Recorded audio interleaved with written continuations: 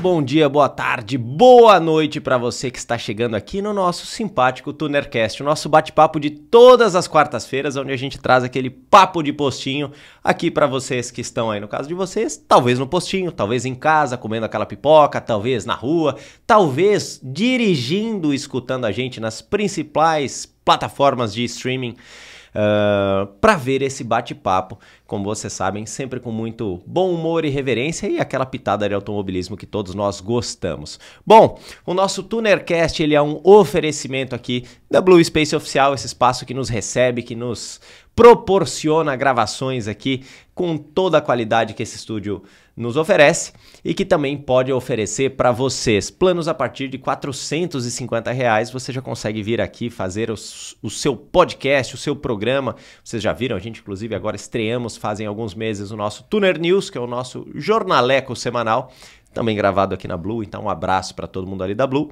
Uma outra empresa que também apoia as nossas iniciativas é a Servitec Dinamômetros, uma empresa que desde 1988 está aí apoiando a indústria nacional, se mostrando ali uma referência lá no início com a produção de CDIs e peças para motocicletas e depois com a, o braço ali dos dinamômetros. O dinamômetro que você sabe que não mede em pôneis malditos, não mede em cavalos psicológicos, são cavalos na roda, que ao saírem num Servitec, meu amigo, se marcou num Servitec é porque eles vão para a rua e vão desempenhar ali como deveriam. Fechou? Uma outra empresa que também apoia aqui a nossa iniciativa no nosso Tunercast é a Insider Store. Vocês já sabem, ela que apoia os principais criadores de conteúdo aqui do Brasil oferecem ali roupas com tecnologia e também com sustentabilidade. São malhas extremamente tecnológicas, desde as tech t-shirts que vocês já estão acostumados a me ver utilizando e.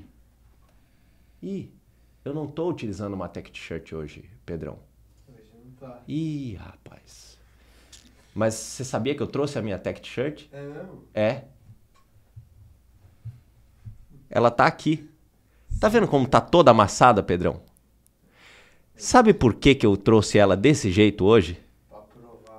Porque uma das afirmações, e ela é uma afirmação contundente da Insider Store, além das fibras tecnológicas que tem a tecnologia anti-odor, que eu sempre menciono aqui no nosso podcast, ela também diz que desamassa com o próprio calor do corpo. Você sabia disso? E eu falei, o que melhor do que um podcast que dura algumas horas para testar essa tecnologia? Então, eu vou aqui, como vocês podem ver, desamassar a minha camiseta da Insider Store. Tá aqui? Tá amassado. Convidado? Tá amassado, não tá? Tá. Tá consideravelmente amassado. Eu não vou dar o desprazer de vocês de me verem sem camiseta aqui ao vivo. Então eu vou sair de cena e vou botar a camiseta amassada, certo? para que vocês possam ver. E aí o que que vai E aí o que que vai acontecer? Eu vou sair de cena para botar essa camiseta amassada para que vocês não tenham esse desprazer de me ver sem camiseta. E vou apresentar esse Tunercast com essa camiseta e até o fim do podcast a gente vai fazer um zoom. O Pedrão vai chamar no super zoom da câmera e ela vai ter que estar desamassada ao final desse podcast. Sozinha. Sozinha, né?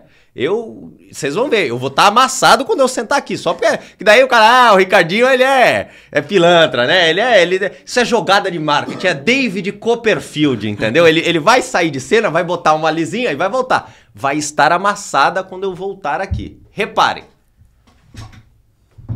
Aí do jeito que tava, você pegou ela, eu trouxe ela embrulhada. É, olha lá. Então, tá aqui a minha camiseta com a marca da Insider, não troquei de camiseta.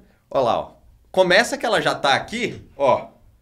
Tá, ainda dá pra ver uns amassadinhos ali. Dá pra ver uns amassadinhos. Ó, no ombro aqui, dá pra ver. Vamos ver aqui se realmente esta afirmação da Insider se comprova e se mostra realmente verídica aqui neste podcast. Mas bom, cupons de desconto ali para vocês, o site da Insider Store tá recheado ali de uh, promoções para todos vocês, o QR Code tá aparecendo aí na tela. E bom, com o oferecimento então de todas essas empresas que nos apoiam, tenho a honra de receber aqui um camarada que é um ícone do cenário automotivo, que está há alguns anos aqui conosco produzindo um material de qualidade e também com quantidade, que é o que a gente vai conversar hoje. Gerson Campos, meu querido GC. Tudo bem, Ricardinho? Seja muito bem-vindo aqui ao nosso Tunercast, uma figura que eu queria já há muito tempo bater um papo. É... Obrigado pelo convite, cara. Eu tô difícil de agenda aí, que eu tô com molecada pequena lá em casa, mas finalmente deu certo a gente vir aqui bater o papo. Também acompanho demais o teu podcast aqui. Suas aventuras com o Polinho lá no Raceville.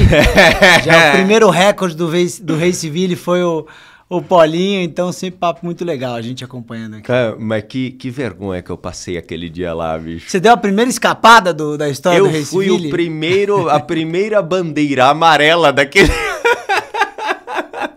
Fui eu que causei. Trocou a história já do automobilismo brasileiro, tá vendo? Não, você viu quantas pessoas fizeram. Quem causou a primeira bandeira amarela de Interlagos? Pois é, cadê? Onde é que tá? E do Velocitar? Ninguém sabe. Pois é. Você já no... tá registrado. Tá lá registrado em vídeo.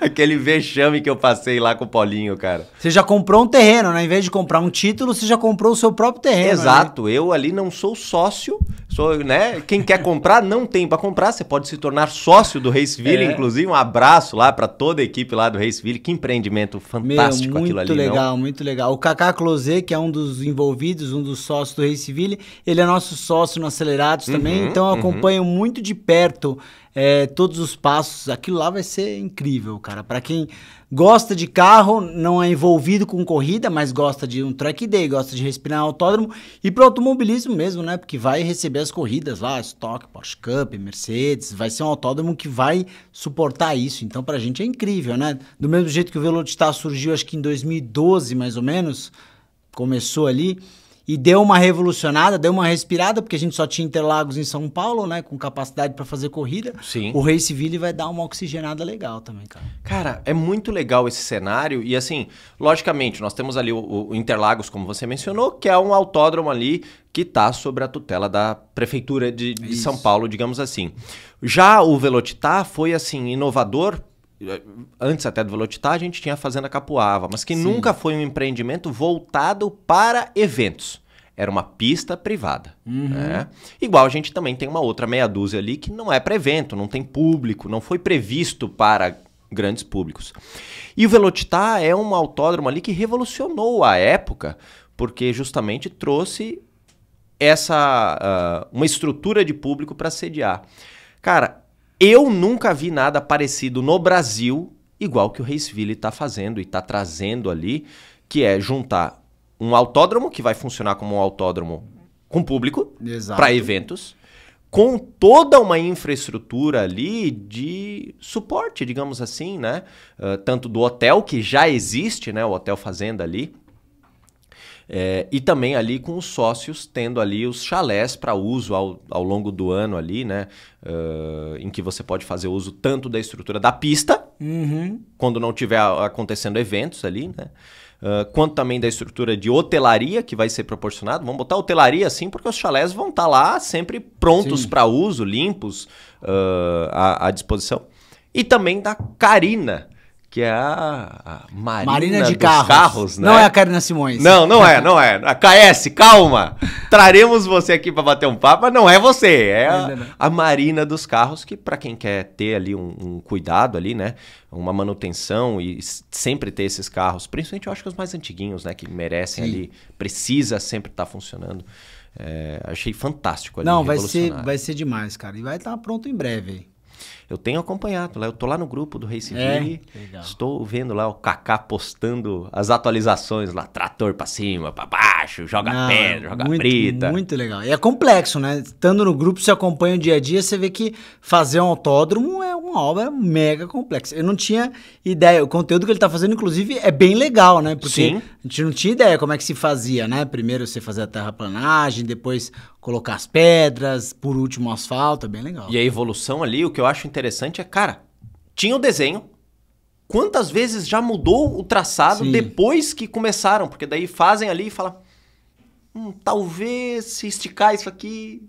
E eles já fizeram alguns traçados diferentes e ter ficado cada vez maior, né? É, bastidores, o Rubinho andou lá já, deu a opinião dele, o Nelsinho Piquet, eu fui gravar uma matéria com ele lá, o Nelsinho andou também, deu opinião, então muito legal ter o feedback desses caras antes de asfaltar, né? Sim. Para mudar alguma coisa é bem, bem justo ali. Certamente, vamos ver. Quem sabe teremos acelerados gravando Ah, lá? com certeza. Já gravamos, já fizemos coisas lá. Eu vi que vocês já É, foram, deram umas voltinhas Mas faremos com ali. certeza. Quando a mas- pista estiver pronta, vamos ver É. o que a gente vai fazer por lá. Quem sabe uma temporada de voltas rápidas ser, ali, já com uma- uma um segundo traçado. É, é interessante. Maior, né? É maior, é maior, é uma volta um pouco mais longa. Que muita gente, eu acho que ah, acaba não criticando, evidentemente, né? Mas a volta rápida lá do Acelerados, literalmente é muito rápida, né? É, é rápida, é rápida. Mas isso foi uma coisa que a gente fez no começo por dois motivos. Primeiro, otimizar tempo de pista, que é muito caro pra gente. Então,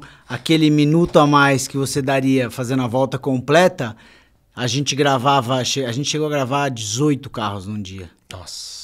Começando 8 da manhã e terminando quase 5 da tarde. No começo, o nosso budget era mega espremido, né? Você sabe como é que é caro fechar uma pista, fazer Claro, operação. claro, claro. Então, só de diminuir para metade da pista, você rendia muito mais. Você conseguia aproveitar mais. Uma.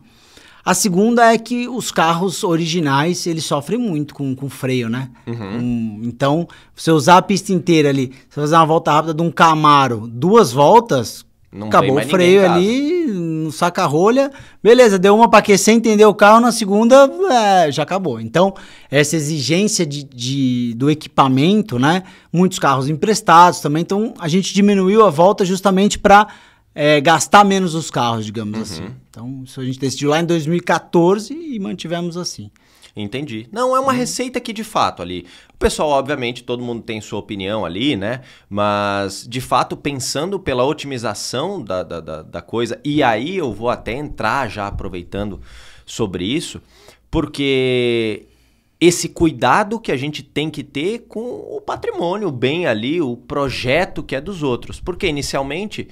Talvez até a concepção era de trazer carros de montadoras, para a gente ver o que tá o que vai no mercado, quão rápido é. Porque, poxa, isso era até antes de, de, de ter o programa de vocês ali, era uma incógnita. A gente tinha o 0 a 100, Uhum. é, mas assim, como performa o carro? Né? O Como conjunto, freia, faz curva. o conjunto do troço. Não tem como você noticiar isso num número, exceto se for com uma volta rápida, né? É, e com o mesmo piloto, então um cara ali que tem a- um, né, um- um jeito de guiar parecido, e aí de fato você consegue ter o feedback do que cada carro performa. Então eu achei espetacular. E no andar da carruagem vocês começaram a trazer carros de pessoas Sim. emprestados ali, alguns projetos de track day, né? Eu acompanho muito o mundo dos Subarus, então tive lá, a gente teve o prazer de ver lá o Subaru da Specializer lá, Sim. que fez uma super volta carro lá, animal. projetaço, Projetão. é, e diversos outros carros preparados que passaram por ali. Como que é esse negócio de pegar um carro que às vezes você não sabe como estava a manutenção é, e colocar lá? Eu- a gente já sabe, obviamente não é o, o objetivo, mas é, tem muita surpresa assim ou na média dá Ah, pra... Digamos que na média passa, mas tem sim surpresas e a gente já é, entendeu que tipo de carro funciona mais, que tipo de carro tem mais surpresa, o que, que acontece. E às vezes a grande surpresa é para os próprios donos. Porque o dono nunca botou o carro para andar daquele jeito. E Aham. quando bota, aparece. Entendeu? Claro. É, por exemplo, desde a primeira diária, a gente sempre quis gravar com todos os tipos de carro. Então a gente levou. O primeiro carro da nossa volta rápida foi o Jaguar é, F-Type V8 com escape de titânio, original de montadora, cedido pela Jaguar, beleza. Mas naquela diária a gente teve Dojão, a gente teve um monte de outros carros completamente fora é, da caixa, alguns de particulares.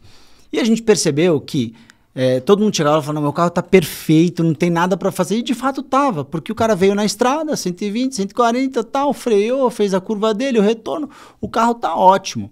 Mas, cara, descendo ali no Velocitar, a sapatada do Rubinho, entra na curva, estica uma segunda até 6 mil rotações, aí você percebia que o carro tava com um pneu diferente do outro de aderência, já freava meio estranho, já dava aquela soltadinha de óleo quando você esticava, mas que é coisa que o dono nunca fez. Então, até é, a gente foi aprendendo ao longo do tempo. E aí, já te falo até de um assunto que muita gente tem curiosidade, que é da Lamborghini, né? Já falando disso de uma vez. O que aconteceu? A Lamborghini acabou o freio. Essa, esse foi um fato. Nunca tinha acontecido isso com a gente. O que tinha acontecido. Eu já tô com o meu aqui, ó. Ah. O que tinha sempre acontecido com a gente é, por exemplo, o cara levou o Vectra GSI dele lá, 16 válvulas, branquinho, lindo, arrumado tal. Pô, tá bom teu carro? Isso aconteceu até recentemente. Tá ótimo, tá maravilha o carro, tá beleza. Saímos pra gravar, dar aquela voltinha, né? Antes de fazer a volta rápida. Aí, beleza, o carro tá freando meio torto, tá de repente faltando uma saúde de motor tal. Isso aí, beleza, você até grava, mas o carro era pra virar 1,15 e vira 1,19. E o pessoal às vezes fica bravo com a gente, fala assim, pô, vocês deviam ter testado antes e tal. Galera, é impossível a gente fazer uma prévia de todos os carros que vão pra volta rápida. Não tem como eu falar assim, ó, você vem gravar dia 15, tá bom. Traz seu carro aqui dia 14 pra gente dar uma volta. E aí, se tiver bom, dia 15 a gente grava. Ou melhor, traz dia 5 pra gente dar uma volta. Se tiver bom, eu uso dia 15, senão eu vou ter que ir atrás de outro pro dia 15. Não tem como, entendeu? Então, a gente vai meio que pela tentativa e erro. Os carros chegam lá, a gente. Então, o que, que a gente implantou? É, a gente implantou um, um, um sisteminha em que eu dou uma volta em todos os carros antes da gente gravar. Pra não ter surpresa, justamente a gente antes a gente já saía gravando, entendeu? Chegava Entendi. lá, tal. Então, pô, chegou lá o Vectra, chegou o Subaru, tal, não sei o que, eu chego mais cedo e dou uma voltinha. Sai, dou, pô, freio reto, beleza, tá alinhado, tranquilo. É um out-in, entendeu? Não passo nem na reta. O carro tá beleza. Agora, freio meio torto, tal, não sei o que, eu já aviso, ó, Rubinho, esse aqui tá meio assim e tal. E às vezes até eu vou guiar o carro na gravação. Às vezes a gente vai Claro. em dois ou três pra gente saber. E tem alguns que, assim, esse não dá. São pouquíssimos, entendeu? Tipo, são muito poucos, mas assim, cara, assim, obrigado por trazido teu carro, mas não temos como gravar. Assim, acho que teve um ou dois, assim, na história, entendeu? Mas teve, por exemplo, é, Lamborghini Urus, que a gente foi gravar com kit modificada tal, que a suspensão pneumática começou a mexer sozinha no meio da curva. Perigo, né, cara? Sim, então, assim, claro. a, a gente não gravou a volta rápida, eu gravei só uma, um raio-x ali, uma matéria, porque, pô, esse carro não dá pra levar ao limite. Então, quando a gente testou o, Lamborghini, que acabou acontecendo a batida, é, é uma situação que a gente nunca imaginou que fosse acontecer. Porque as pessoas perguntam, pô, vocês não têm medo de um acidente? Fala, cara, eu tô numa pista fechada, com o Rubinho, né? O que, que vai acontecer? No máximo, ele, ele pode dar uma saidinha Escapou. de pista, escapou, no máximo ele vai dar uma rodada, jamais vai, vai bater. Só que aí teve essa situação que o freio do carro acabou, que a gente nunca esperava. Então, Ainda mais no carro, que era. né? É, ele, e a depois a gente vai aprofundando na história e descobre que é, freio de Lamborghini e de Ferrari, Lamborghini mais ainda é crônico em pista, né? Acaba muito mesmo, né? Teve um outro track day também que teve um acidente com o Huracan. Então, o que, que a gente falou? Bom, carros de particular, né, de pessoas que levam, vamos tratar apenas de originais, não vamos tratar de modificados, porque a gente nunca sabe o que, que aconteceu. Aquele era um carro modificado, a gente não sabe é, qual fluido tá usando, o que, que foi trocado. Então, beleza, você quer levar teu Turbo S lá, original? Tá bom, tá 100% original? Tá. Ah, o meu tá com stage, putz, aí eu não, melhor eu não andar. Entendeu? Carros de alta performance. Agora, se é um Vectra GSI preparado, tudo bem, que já é um carro de performance mais tranquila, mas mesmo assim, a gente vai dar uma volta antes Pra para testar e avaliar, entendeu? Então, Sim. esse lance de pegar o carro alheio, ele é, ele é bem complicado. A gente sempre tem muito carinho com isso, né? Aquilo que aconteceu foi, foi uma tristeza. Você vê um carro daquele, É generalizado. é, não cara, todo mundo que gosta de carro, mas enfim, o carro foi arrumado, tá beleza, é, e ninguém se machucou, que foi Uhum. melhor. Então, sim, assim, sim, sim. a situação que, que, que aconteceu ali, todo mundo até fala, ah, mas o Rubinho errou, tá, não sei o quê. Eu convido você que tiver essa impressão, é muito fácil, entra lá, digita lá no YouTube. Volta rápida Audi R8, assiste. Um Audi R8, que é a mesma plataforma do Lambo, chega ali a 145 por hora, freia, entra na curva a 70, 75. A, des- a desaceleração da Lamborghini chega aos mesmos 146, 150 e não desacelera. ele freia e ela entra 110 na curva. Então, assim, o freio realmente desceu, foi uma pena.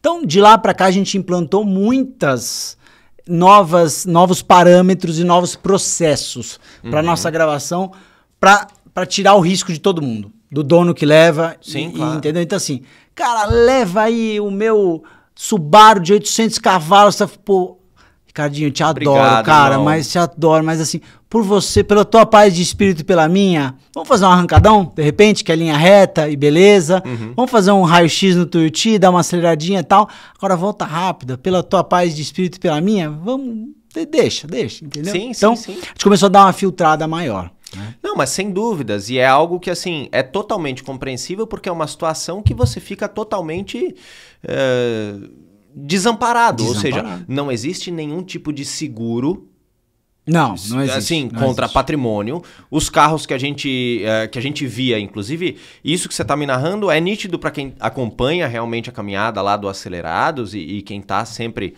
ah, vendo ali que houve essa mudança de padronização dos carros que estão indo para lá. Obviamente que bem nessa questão do, do- do heritage, que é a palavra em, em- em inglês ali, de tipo, do, do legado dos carros que vocês continuam trazendo, mas o preparados, que antes inclusive tinha a separação ali, né?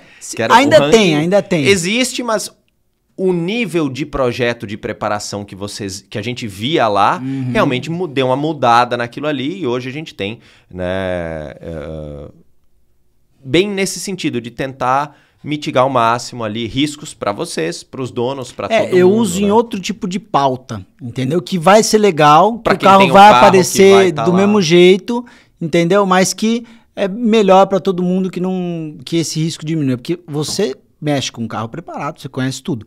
Às vezes o próprio dono não sabe o que foi Mas feito. não sabe, cara. Ele não, sabe. não tem o entendimento de que se botou tantos cavalos a mais, devia ter isso de freio, se, se trocou, Sim. se não trocou, Sim, sim, como é que tá. O estado de manutenção, porque uma coisa assim, cara, a Flávia, minha esposa, ela tem um JCW, um Mini Cooper, um Aham. R56, um carro fantástico, né? Ah, e eu, quando andei no carro dela, a gente. Você não é tão piloto quanto o Rubinho, mas o fato da gente fazer aquilo repetidas vezes em carros diferentes te dá uma percepção das Claro. coisas. Quando eu andei, eu falei, putz, amor, seu freio não tá legal. E ela assim, tipo, ah, você tá maluco. Eu- meu freio, eu piso, freia, o carro é bom e o carro é muito bom. Mas o freio dela realmente deixou a desejar. E eu não precisei nem exigir. Tipo, igual você, quando nessa Sim. volta de reconhecimento, pra ver que aquele freio ali já não tava legal. Um belo dia entrou um camarada na frente dela, ela teve que dar aquela juntada. E mas não parou. Foi o Deus. Parou, Parou. mas ela deu aquela, tipo assim. Agora eu tum, tum, entendi tum, tum. Ela falou: não, para, para, para, para. Eu tava num outro carro na frente dela e eu vi que o carro dela desapareceu atrás de um caminhão. Falei assim, Nossa. nossa, eu já, já tava esperando ver os farolzinhos lá esbugalhados assim, dela ter dado um beijo atrás do caminhão. Aí, ela, aí eu falei, vamos, amor. E ela assim, a 60 por hora, o limite da via era tipo 90, 110. Eu falei, vamos, amor. Tremendo. Não, não, não, não, não, o freio não tá. Eu falei, ah, agora, você Agora sim, acreditou, né? cara? Porque. Mas e você sabe que antes da, da- dessa história do Lambo, eu já tinha. A gente já tinha tido um aviso que depois eu percebi que era um aviso. Com TTRS. Uhum. é, era IRS o TT? Ou era TTS? Eu acho que era. Talvez não fosse nem TTRS, acho que era um TTS. Com stagezinho 2. Meu, carro justo, honesto, legal tal. E aí a gente tava andando ali, dando aquela voltinha pré, volta rápida, que a gente vai falando, conhecendo os carros e tal. E eu, e eu que tava guiando o carro tal, no mesmo lugar. Freiei, pá, fui entrar na curva, o que que aconteceu?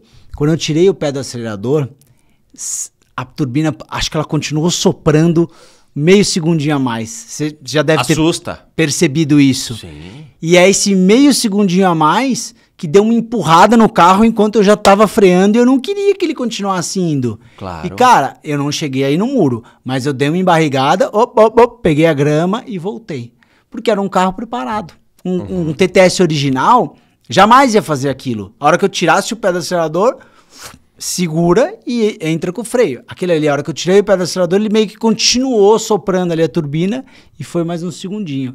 Então, depois você vai vendo assim quantas Sim. não passaram ali. Sim, que porque não, não deu certo. Pro né? dono, às vezes ele nem percebe Nem isso. percebe. Mas pra vocês que estão muito acostumados, é algo que é nítido. A hora que você já andou Mas, cara, assim, a gente não perde o prazer de, de, de fazer o que a gente faz na volta rápida.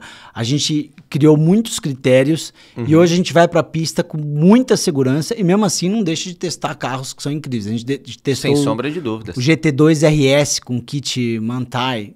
Puta, que carro fantástico, entendeu? Um abraço pro pessoal da Stuttgart aí que nos emprestou o carro. Rogerão, Marcel, fantástico. Mas assim, um GT2 RS. Né? Cara, Não tem. supra-sumo da... da... Não, é- não modificado, com um kit original. É um kit. É, é um kit de performance? É, mas é um kit original. Então tá bom. Se você me oferecesse, Gerson, pega meu GT2 RS com 900 cavalos de roda, pressão na turbina, Ah. fala, obrigado. Obrigado, porque aí eu não sei que bicho é esse. Sim. Entendeu? Então, Sim, sim, é sim. muito doido isso. Sim, claro, sem sombra de dúvidas. E, ah, e o valor, evidentemente, né? Quer dizer, igual você falou, uma dor de barriga num carro de 50 mil reais, uma dor de barriga num carro De de, três, 5 cinco milhões, de milhões. reais, né? É, são diferentes magnitudes ali, né? Certeza. Mas que legal, cara. Eu, como espectador ali, adoro de ver e certamente que quando escolho carros, é um dos critérios, cara. Pô, né? É, é um dos critérios Responsa. ali. Não, mas é verdade, pô. Pra quem gosta Pra ali, quem gosta. não é só o 0 a 100, o número que tá lá homologado né, na, na fábrica, é o conjunto como um todo, né? Claro, claro. É o conjunto como um todo. E daí, caminhando um pouco mais ali no- na grade de programações ali do Acelerados, ah, outros programas ali têm sido. Eu também aprendi a gostar ali daquela meia dúzia da trupe da, mala, da, ma- da maluquice, digamos assim, que é as arrancadas em marcha ré. Cara, Você um viu? mococa, o- cara, Aquele vídeo deu não sei quantos milhões de views, cara. Arrancada de marcha ré, as arrancadinhas, arrancadinhas mesmo ali, lado a lado, aquela coisa raiz, três buzinadinhas E e, vai, né? e lógico, dentro de uma pista, como tem que ser e tal, mas de testar ali coisas que a gente tá acostumado. Eu que trabalho com preparação, pô, um Up TSI estágio 3 versus um, um Fluence GT. Animais legal. totalmente diferentes ali, quer dizer, caiu no gosto do público, né? Como foi pra vocês ali no Acelerados a inserção de novos é, apresentadores, novos produtores de conteúdo pro time? Foi tranquilo? No começo não era previsto ou já era previsto? Como é que foi Cara, isso aí? O, o Acelerados, ele tem uma coisa assim. A gente meio que leva os bastidores pra frente da câmera, sabe? A gente é, imagina você tem um programa, vai, pode citar o Autosport ou qualquer outro programa com um formato mais formal, digamos assim. Quando você tem um novo apresentador, você tem aquela coisa, ó, agora o Ricardinho é o novo apresentador, Ricardinho fale oi pra audiência, tal, não sei o quê. E no Acelerados é me- meio que a gente ia fazendo, sabe? Tinha três carros, entrava um quarto carro, precisava do motorista, ô Bola, vem aí, agora você... E ninguém falava, Bola é o novo apresentador, este aqui é o Rodrigo Machado, ele vai estar conosco a partir de agora. Apareceu lá o Bola, né, do nada e tal. E daqui a pouco o Mococa a mesma coisa. E foi, e foi rolando, entendeu? E aí a gente fez o primeiro, os primeiros arrancadões, a gente fez em 2018, né, numa pista que era até aquele Aerovale lá, que é uma pista que hoje não está mais sendo utilizada, que era uma pista larga. E, cara, a gente ficou surpreso que deu muito certo, né? A audiência gostou, é um negócio meio didático, assim, né? Quem chegou na frente ganha, não tem tempo de volta, não tem, né? É muito, muito fácil de ver. E a gente também sabe que nós somos mais técnicos, a gente é mais, né? Gearhead ali e tal. Então você quer ver onde freia, você quer ver onde. Agora tem uma grande parcela das pessoas que só quer saber se o Up anda mais que o Sandero e ponto final, entendeu? Tomar pau é. Chegou na reta na, na frente, tomou Sim, pau. Não importa sim. se o Sandero é mais rápido na volta inteira. Aham. Acelerou na reta do lado do teu amigo, Tá ganhou e valendo. pronto. Três buzinadinhas, quem passou na Esse frente dá pau no passou. outro. Então, atende esse público também, que não é tão vidrado na volta rápida, que quer ver um negócio mais didático.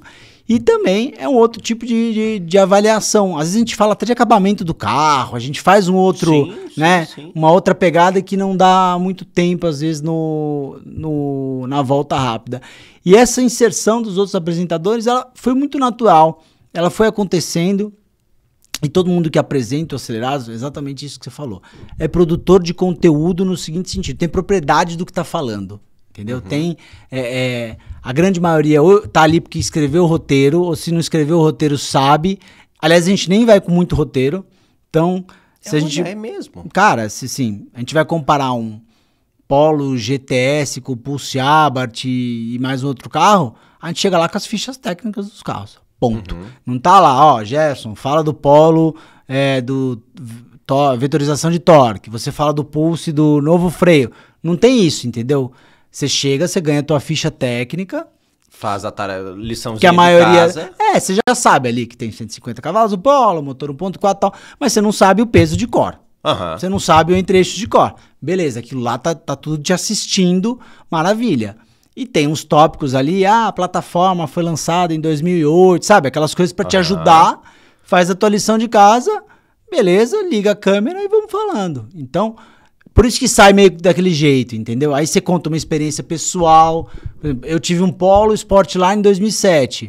Você tá ali gravando, você conta. Tive um Polo, tal, não sei o que. O outro conta, ah, meu tio também teve e tal. E assim vai, pra gente justamente se aproximar de quem tá em casa, entendeu?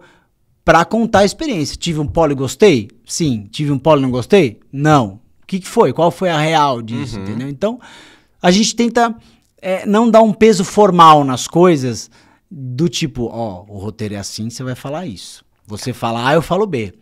Você é o novo apresentador hoje. E tanto que as, as, as coisas às vezes até são meio várzea, na minha opinião. às vezes eu tô gravando e falo assim, será que a galera gosta dessas? A gente gravou, por exemplo, essa semana, o Mococa me apareceu com o cabelo platinado lá, que ele jurou que aquilo foi o sol que ele tomou nas férias do México. Eu falei que não. Eu acho que ali deve ter um Grecinho 2000 Perdeu uma aposta. tonalidade, alguma, coisa. Ele jurou que não. E a gente ficou falando isso no vídeo. Será que a galera vai gostar?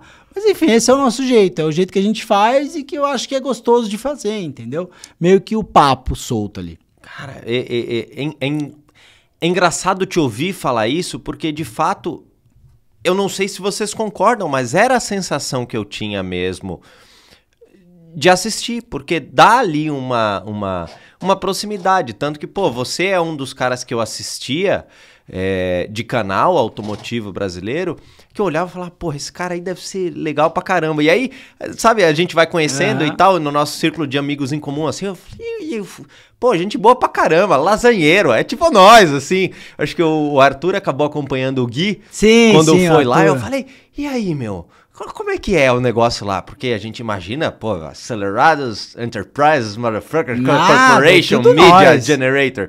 Falou, velho, é muito legal porque os caras são true, os caras são aquilo ali É. de verdade, gostam, conseguiram encontrar uma maneira de não de, de fazer aquilo que a gente gosta, que é falar de carros, ter carros, andar de carros, né, viver a vida de carros e conseguiram fazer isso monetizando de uma forma ah, construtiva, né? Porque e isso eu queria até entrar nesse tópico, porque acredito que durante, ah, lógico, a duras penas, né, um constante aprendizado e se reinventando, o Acelerados está há tanto tempo no ar e com vida longa pela frente. Né? 10 anos, cara. A gente vai fazer. Primeiro vídeo foi em 28 de agosto de 2014. E a gente começou a trabalhar efetivamente sentados numa mesa em março. Então, pro primeiro vídeo ir ao ar foi de março a agosto. Pra gente começar, entendeu? Entender tudo que a gente ia fazer e ter uma grade de programação, né? Porque como é que o Acelerado surgiu? Contar um pouquinho da minha história que acho que você não, não, não sabe. Eu sou jornalista de formação, sempre trabalhei em jornalista, eh, revista automotiva, revista carro, enfim, sempre foi a minha, a minha escola ali. E aí, sempre senti muita falta do que a gente via lá fora aqui no Brasil.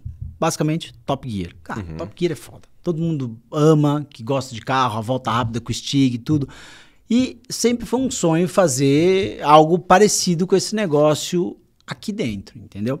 Só que eu também sempre tive a, a visão comercial. Que ninguém vai, me che vai chegar e me dar dinheiro. Ao contrário do que o Top Gear sempre existiu para vocês que estão aí em casa e não sabem, por causa da BBC, que é uma estatal e que tinha uma verba gigantesca editorial para fazer aquilo acontecer.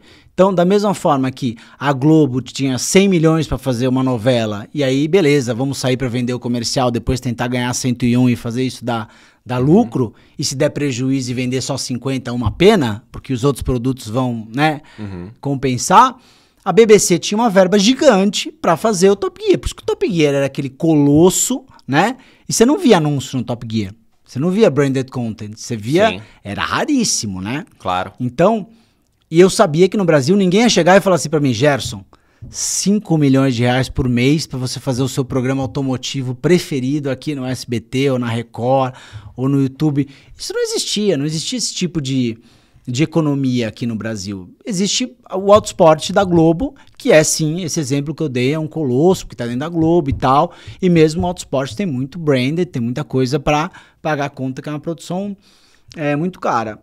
Então a gente sempre soube desde o começo que esse negócio que a gente vai fazer tem que ser legal, tem que ser true, como você falou, tem que ser para os caras que amam, porque é o que a gente faz. Eu não vou fazer um negócio chato. Eu quero fazer para eu assistir. Quero fazer para os meus iguais, iguais no sentido, não importa se você gosta de Opala, de BMW ou de Ferrari, você gosta de carro. Eu quero fazer para os meus iguais que vibram com o carro assistir. Né? Uhum. Eu não quero fazer um generalista para ir na TV que a dona Maria vê e descobre quando ela vai trocar a pastilha de freio dela. Nada contra, mas esse produto já era atendido, já existia, entendeu? Uhum. Falei, cara, quero fazer um negócio para quem gosta de carro para quem a gente sempre falou, Acelerados não é um programa sobre carros, é sobre a paixão por carros. Ponto. Esse era o nosso ponto de partida. Mas sempre tive noção absoluta de que precisa ser comercialmente viável. Ou seja, não adianta eu ficar explodindo motor de mil cavalos, não adianta eu ficar rachando na rua, não adianta eu dar 10 milhões de views fazendo drift no meio da Paulista, beleza, porque aí a Servitec ou todas as outras marcas que me apoiam aqui hoje, uhum. as montadoras, nunca vão querer botar um real. Vão olhar e vão falar assim: a Servitec não estaria com a não CF é sustentável. se achasse que você é um cara que é um maluco. A Insider, todos os seus parceiros, eles te veem com uma credibilidade. Então a gente sempre falou: a gente tem que achar essa linha tênue entre fazer legal, interessante, uhum.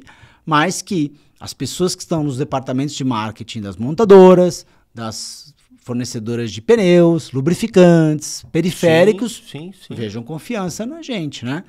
E foi mais ou menos o que a gente conseguiu construir. A volta rápida, por exemplo, é um, é um exemplo bem legal, que é um quadro mega clássico para o Gearhead e que tem patrocínio, por exemplo, da, da Mobil ou da Continental. Maravilha. E a gente fala um pouco do produto ali. Só que isso nunca vai mudar o tempo de volta da volta rápida. Eu nunca vou fazer um, um, volta rápida com o patrocínio da Ford e o Mustang, em vez de virar 1,4, vai virar 1,3. Uhum. Não. Eu posso até ter um patrocínio da Ford nessa volta rápida. Mas a volta rápida é a volta rápida. Se ele for Sim. bem, ele vai. Se ele não Sim. for, ele não vai. Não vai ficar tentando 80 voltas para ver se sai e ali. Quem o... comprou sabe disso. Sim. Entendeu? Quem Sim. comprou sabe disso e vai estar tá lá sinalizado se é um branded, mas isso nunca vai alterar é, o resultado ali. Então, eu acho que esse foi o, o grande desafio, o grande mix entre fazer legal, fazer para quem gosta, passar longe de responsabilidades uhum. e envelopar o produto de uma forma que quem tem é, as verbas possa olhar e falar, bacana, eu consigo entrar aí de um jeito legal e de um jeito bacana. Então, Sim. esse foi todo é, o nosso desafio no começo. Falei bastante, hein? Não, mas eu sou é falastrão, hein? Você percebeu é... já, hein? Não, estamos aqui para isso, GC. E, mas, de fato, é, é, é, é um desafio. Eu... Uh, novamente, o meu business ele é reprogramação de automóveis. Uhum. É isso que eu faço profissionalmente. Num dado momento, eu comecei a fazer reprogramação no carro de um amigo aqui, de um outro amigo ali, de um cliente assim, que indicou para fulano, que indicou para Beltrano. Daqui a pouco eu estava inserido dentro do YouTube é, através desses amigos uhum. que têm os canais e tudo mais. E aí muita gente tinha curiosidade de saber aquilo ali. Eu entrei no YouTube, mas quem vê de fora, imagina que, cara, olha a camiseta hoje do GC, inclusive, pô, tá aqui, Pioneiro, Faftec, Car Pro, STP, Gauss, que faz lá aqueles eletrônicos todos ali. Tive todos os meus parceiros, muito obrigado. Todo mundo todo aí mundo... apoiando o, o, o GC e a produção de conteúdo dele. E acha que, pô, beleza, porque o Gerson faz tantos milhões de visualizações por mês, ele vai ter um monte de patrocinadores. E não é isso que Não, acontece, claro que não, pelo claro que contrário. não. é, não são números, tem ali as agências de marketing tem ali um, muitos critérios a serem uh, atingidos e um deles é isso que você falou, tem que ser um troço sustentável. Imagina né, o dano que pode, porque da mesma maneira que você bota pra cima, um- Claro. uma coisa errada que acontece ali, Deus o livre, também joga todo mundo pra Claro, baixo, com né? Então certeza. essa austeridade, eu acho, é, é muito importante e vocês conseguiram fazer isso aí de uma maneira, cara, É, porque assim, é, por exemplo, o pessoal às vezes na internet coloca a montadora como um grande vilã, né? Ah, montadora, só quer ganhar dinheiro, bababá, babá, aquela história que a gente tá, tá acostumado. E- Eu, pelo contrário, eu não sou advogado de montadora de jeito nenhum. Montadora realmente é uma empresa capitalista que quer ganhar dinheiro de qualquer forma. Mas eu convivo há mais de 20 anos dentro das montadoras. O que, que eu quero dizer dentro das montadoras? Indo em eventos de lançamento de carros, conversando com o engenheiro, com o executivo do marketing, com o cara do RH, com todo mundo. Eu sei como é que é a vida de uma pessoa dentro da montadora. Então, quando o Polo GTS foi lançado lá por 99 mil reais e todo mundo falou, ah, devia ter custado 82, câmbio mecânico tal, não sei o quê. Você sabe um pouco por que, que não foi. Porque todo mundo quer o câmbio mecânico e a montadora lança, vende 1% do mix. E eles gastaram uma grana para fazer o câmbio mecânico e não vende. Aí na próxima geração a montadora acaba desistindo. Então, é, eu sempre me vejo do outro lado, do lado de quem tá na montadora, tá na petrolífera, tá na, né, tá na fornecedora de, de bateria, todo mundo, toda essa, essa cadeia, como é que ela pensa o mundo automotivo? E, cara, toda essa cadeia, ela tem muita gente que gosta de carro, que ama carro, tem muita gente que também não gosta, não, é do meio e tá lá por um acaso. Mas essa galera que gosta, que ama, ela também tem os mesmos sofrimentos que a gente no seguinte sentido. Todo mundo queria ver um Polo GTS manual, não queria? Não veio. Mas por que, que não veio? Vai conversar com o cara da engenharia da Volks. Para homologar um manual, custa mais tanto. Faz a conta de quantos vão vender. Não fecha essa conta, mas não fecha de longe, entendeu? Ele tem que fazer um investimento. Ah, a montadora podia fazer esse investimento por imagem? Aí é outra discussão. É, eu, eu, eu ia Né? até te jogar até uma batata meio Eu morna, acho que meio- deveria. Meio Eu morna, meio quente. Mas eu acho que deveria sim fazer esse investimento e engolir esse prejuízo para lançar o manual por imagem. É a minha opinião. Só que vai saber os bastidores lá dentro. É, mas aí, olha, acabamos de noticiar ontem, o- o- notícia quentinha, inclusive, saiu, saiu ontem no nosso Tuner News. A Ford tomou um prejuízo de um bi de dólares com carros elétricos no ano passado. Um bi. Bi de dólar. Caramba, pesado, hein? É. Então, assim, tá sendo feito um investimento onde eles estão, inclusive, corrijam-me se estiver errado lá, mas é, é, cada carro elétrico feito ali custa-se muito mais caro do que realmente está se vendendo. É, o desenvolvimento é caríssimo. O desenvolvimento, acredito que, logicamente, as manutenções, não só as manutenções, a gente está vendo a exemplo da Tesla, por exemplo, ali, que teve que não só fazer o carro, mas fazer toda a rede de, de infraestrutura para suportar, ter todos aqueles carros de uma maneira que faça sentido, né? Para você poder ter mais deslocamentos mais longínquos, sem ter que esperar tanto tempo para carregar, aquela rede de superchargers ali nos Estados Unidos que funciona muito bem, inclusive Sim. né? Ah, e a gente vê que às vezes o lado gearhead da montadora é, tem que fazer sentido, né? Então assim, você acha, é, bom, você já, já se adiantou e já jogou Mas essa bola para mim. Pode, Falou, pode mandar a tua pergunta. né? É, poxa, você não tem visto que de repente esse lado assim de quem gosta mesmo tem que tem que tem que se pagar, mas outras, ah, por exemplo, quando tem a ver com sustentabilidade, vamos botar da bandeira de sustentabilidade. Eu não vou nem falar se faz sentido ou não esse negócio, mas se tem a ver com sustentabilidade, então pode dar preju, vamos embora e tal.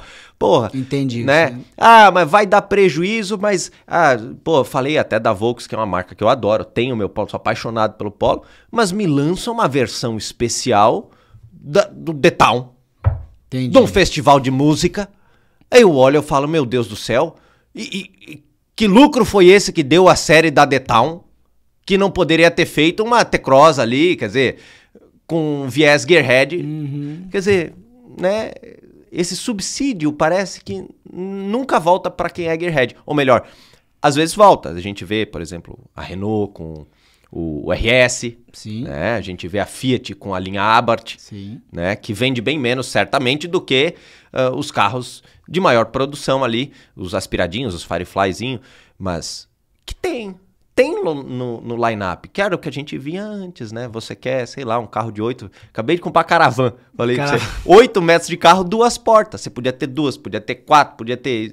Tinha opção de tudo antigamente, né? Hoje.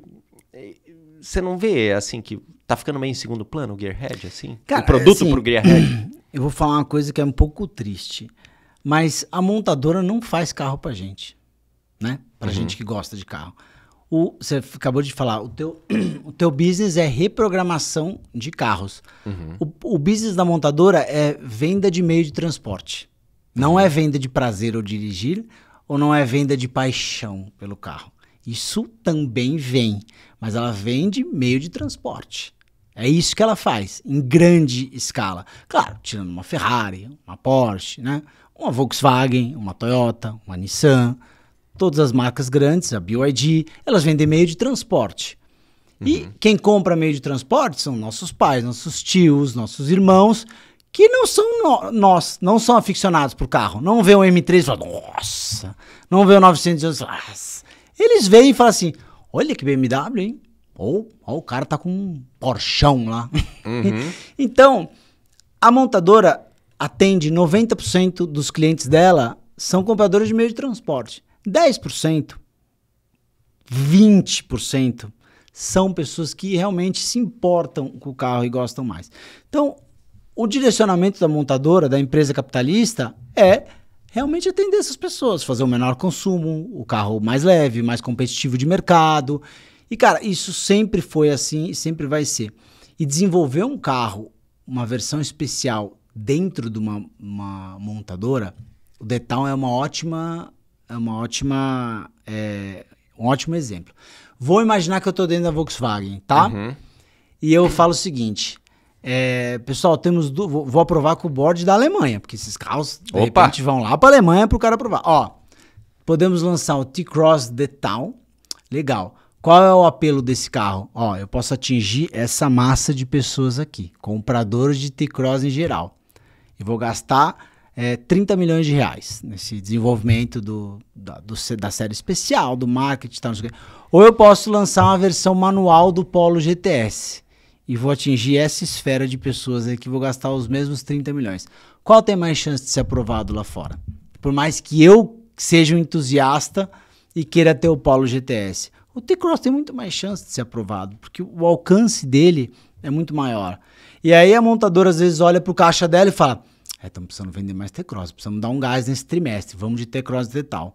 Ou às vezes dá uma sorte e fala assim: Puta, vendemos T-Cross demais nesses últimos quatro anos, vamos fazer um polinho GTS manual, vai? Tá bom, vamos fazer. Então, a preferência da marca sempre vai ser pelo carro mais generalista. Isso eu tô falando de marcas Sim, de sim, volume, sim, sim, sim, sim. tirando Das meios de transporte. Porsche e Exato. das meios de transporte, entendeu? Então, isso que a galera às vezes não entende quando vê o lançamento do Corolla Cross, quando vê o lançamento do BYD, são marcas que vão vender meio de transporte em 95% dos casos, entendeu? Então, é meio que a gente tem que se conformar um pouco com isso, né? E o Brasil é difícil, cara, em, termos de homologação. Você lançar uma versão manual do carro, você tem que homologar o carro e É, gastar não, uma isso aí, puta grana. isso aí de fato é... Isso aí é um, é. é. um pé no saco. Homo- e tem que homologar mundo. tudo. Tudo. Você tudo. mudou o câmbio. Não, você vai ter que homologar tudo de novo. O carro passou pelas emissões, passou pelos ruídos, passou tudo. Eu só quero trocar o câmbio e botar um outro câmbio manual. Não vai mudar nada. O carro não vai emitir muito mais ou muito menos. Não, não, Sim. não, você tem que fazer todo o processo de novo. Sim. Ruído, é... Sim, NVH que eles chamam lá. Nossa, é tudo. Aí imagina, aí vai vender 100 carros, dá uma quebrada na montadora, entendeu? É. Eu, eu- seria interessante trazer alguém lá de dentro de montadora Cara, é um ótimo cifras. papo pra você. Porque é algo que você traz essa visão aqui pra gente, mas, poxa, quantos seriam? Sim. Né? Tipo assim, ó, quanto é que precisaria vender ali pra gente ter? Você trazer Porque gente de montadora aqui é tão- muito legal. São dados que estão no nosso. No, no- no imaginário. Ou seja, até hoje, a Renault tomou preju ou não fazendo a série RS do Sandero, Perfeito. né? Em termos de imagem. Não dá pra mensurar isso. Né? Mas, é, que nem o Bugatti Veyron é um carro que deu prejuízo, você sabe, né? Sim. Que ele custou no de desenvolvimento versus o que ele vendeu. Agora, o que era Bugatti e o que é a Bugatti hoje? Como é que você mensura o valor da marca? Não tem como, né? Então, mas é um, é um papo legal, cara. E eu falo isso porque eu falo com muita gente montadora, como jornalista, Uhum. em 20 anos. Então, o que, que é o princípio do jornalismo? Você tem que ouvir os dois lados. Não adianta só Claro, claro. ouvir o nosso lado. Queremos carros manuais, turbo, queremos séries especiais, tal, não sei o quê, sem ouvir o outro lado, né? E, e tem que ser realista. Essa é, essa, essa é a questão. É. No Brasil, você tem que ser realista e trabalhar meio com o que você tem ali, né? Ah, cara. E, e falando um pouco aí nesse segmento, como que tem sido com você é, agora tendo o programa, tendo o Acelerados, que querendo ou não é um programa gerador de opiniões, né? Eu sigo também um outro canal ah, que não é de carros, mas até tem uma parte de carros, talvez você conheça, é, do Marcus Brownlee. Ele faz review de coisas te- eh, tecnológicas. Não, de- vou de- ser sincero, não conheço. Vou, Cara, vou pesquisar. tem 18 milhões, eu acho, de inscritos lá fora. É um americano e ele faz review do novo iPhone, do novo isso, do novo aquilo, tudo que é lançamento tecnológico. E ele tem um canal que chama Autofocus, Tá. tá? E recentemente ele foi envolvido ali em um- uma série de polêmicas, porque disse e- que ele é tornou-se um dos caras, na verdade, o cara mais importante da internet americana é o Marcus Brownlee. Tá. Por quê? Ele foi fazer o review de um, de um, de um- um assistente AI agora, você bota aqui na roupa e tal, e falou que foi o pior produto que ele fez review na vida dele. O canal dele é de review, Entendi. certo? De coisas. Daí depois ele foi fazer o review de um outro, um outro gadget lá e também falou assim, cara, é muito ruim. As empresas, as startups estão jogando produtos ruins para o consumidor final. Com 20% das funcionalidades que dizem que deveria ter, mas que vai ser implementado ao longo do caminho. E ele, no canal de carros dele, no Autofocus, ele fez o review do Fisker, alguma coisa. Sabe Fisker aquela? Karma. Não era do Não? Karma, mas era essa montadora que fez Ah, o, o Karma. Fisker, tá. A Fisker fez um outro modelo, um SUVzinho, que ele falou assim, é o pior carro que eu já andei na minha vida. E a Fisker quebrou. Logo depois Uau. do review dele. A empresa do Humane, a iPin, que fez aquele produto horroroso lá do, do assistente AI, quebrou logo depois que ele fez o review dele. Tipo. E aí falaram. Por isso que tá, tá essa discussão de tipo assim. Cara, como você se sente sendo um gerador de conteúdo e, consequentemente, de opinião, certo? E frente a ter que trabalhar com montadoras. Uma montadora manda um carro para vocês. É, já chegou em algum momento que você se sentiu tipo, putz, vamos ter que. Logicamente, conheço ah, ah, vocês assim e acredito que vocês nunca iam esconder nada que seja ruim. Sim. Mas bom, esse ponto aqui talvez não é legal. A montadora está injetando um dinheirinho aqui, sem quem, se, sim ou não. De repente a montadora vai quer entrar para patrocinar o programa. Você vai dar uma pegada mais leve ou não? Igual você falou assim, ó, nós vamos testar, irmão. Você tá pagando? Tá pagando. A Ford quer pagar aqui, mas não vai descer um décimo ou um segundo Sim, do sim, tempo da sim. volta rápida. É, é, você já teve que ter um pouco de jogo de cintura? Cara, assim, é, eu acho que acima de tudo você precisa ter respeito com o produto e com o trabalho das pessoas, né? Ali você tem um carro, você tem dezenas de engenheiros, você tem dezenas de profissionais de marketing, uma galera envolvida, tá? Eu vou te dar um exemplo. Recentemente eu fui no lançamento de um carro e eu conversei com um engenheiro que me falou mundos e fundos sobre o desenvolvimento da suspensão do carro e tal. A hora que ele falou, eu falei assim, cara, esse carro deve ser muito bom de guiar. E eu saí pra guiar e na primeira curva achei o carro ruim, né? Achei fraco perto do que ele falou. E assim, eu entendi que na visão dele, na cabeça dele, na referência dele, talvez seja bom. Mas na minha referência, em tudo que eu andei, tudo que eu conheço, não achei bom. É, é- essa é a distância. E talvez o consumidor médio tenha a mesma cabeça dele.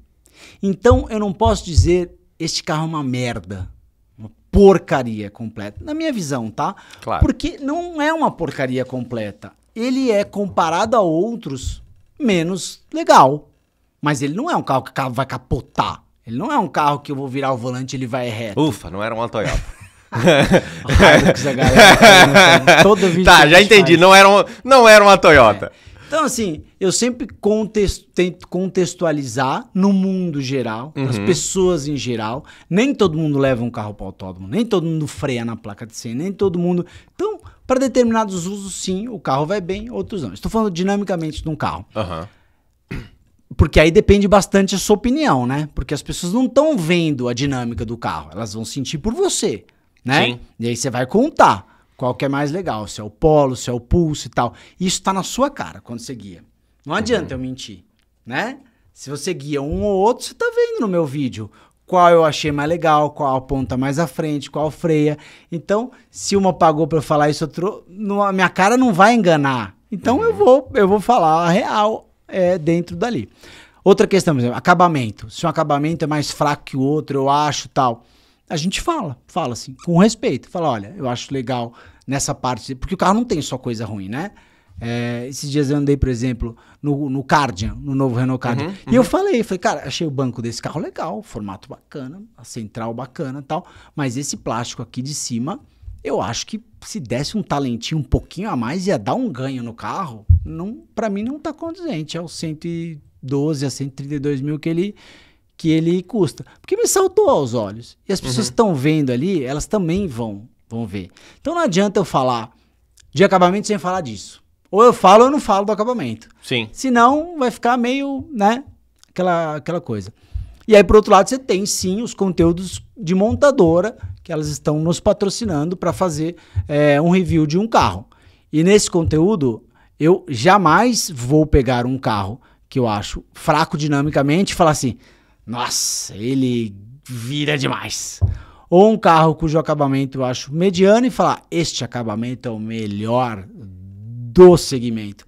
Não, eu vou falar é, o que o carro tem, vou informar sem adjetivar é, nesse ponto. E aí fica claro para as pessoas que estão vendo ali que tá, existe um conteúdo de marca, mas que se eu não estou adjetivando é, ali, é porque eu estou tirando a minha opinião. Eu estou só falando o que o carro tem. Que o motor é tal, que faz o 0 a 100 tanto na ficha, etc, etc. Então, por isso que a gente deixa bem claro, quando começa um vídeo que- é de montador, é acelerados, mais Volkswagen ou Nissan apresentam. Então tá todo mundo vendo que ali tem uma, Sim. né, tem um patrocínio. É um produto publicitário. Mas se ele tá na volta rápida, ele vai virar o que virou na volta rápida, entendeu? E se tem esse viés ali, eu não vou falar só bem do carro. Talvez eu fale um pouco mais de, de coisas do carro que eu não falaria num vídeo editorial. Eu vou ter que dar alguns features do carro que Sim, até porque você está tendo mais verba para conseguir Exatamente, ficar pra mais conseguir tempo fazer de pista e conseguir fazer. Até porque é algo, voltando agora. Mas é, essa, só pra completar, Aham. falar que é o melhor do segmento, que revolucionou a marca. Puta, a montadora tem umas bullshit também que às vezes é. Eu sempre falo, né? Às vezes vinha release de montadora assim. É, este carro possui linhas que dão a sensação de movimento mesmo parado. Fala assim, meu irmão, o que dá sensação de movimento mesmo parado é vodka. Você toma e aí dá sensação de movimento mesmo parado. Você me falar que você tem um V8 de 12 litros debaixo do capô, eu vou entender que ligado ele vai dar uma sensação De de, movimento tipo. mesmo. E ele vai estar parado. Mas tinha uma galera porra. jornalisticamente que até comprava essas besteiras e, tipo, pegava do release e botava na matéria, entendeu? Aham. Tipo, meio que sem filtrar. Tá, A montadora vai tentando enfiar. Você vai O trabalho dela é esse, afinal de Você contas. vai num lançamento de carro, se você só ouviu o que eles estão falando, você sai de lá falando assim: Meu Deus do céu, esse novo Polo e a Ferrari estão no mesmo patamar. de acordo com o que o cara falou. E é seu trabalho contextualizar e saber se o outro já tem aquele motor, se tem alguma coisa que lançou e tal. Mas por outro lado, você não pode ser o jornalista mala e cri-cri que vai só levantar a mão e falar: É, por que, que isso não tem aquilo e tal? Tem que sempre achar um meio termo, né? É, eu acho que até perde-se um pouco da essência e da própria credibilidade, que é uma coisa que uma vez que você perdeu, Exatamente. nunca cara. mais recupera, né, cara? Exatamente isso. Isso é um negócio que pra mim é muito, é, assim, vital no seguinte sentido. Como você falou, eu, eu sempre busco ser muito verdadeiro. Claro que a gente precisa dos patrocínios e precisa das marcas, não só das montadoras, mas do- dos periféricos para fazer o nosso negócio acontecer. Mas todas as marcas que estão aqui são marcas que eu uso, que eu gosto. Sim, Entendeu? Não acho nenhuma delas ruim, senão eu não faria um negócio com elas. claro. E as pessoas que usam me contam das experiências deles, né?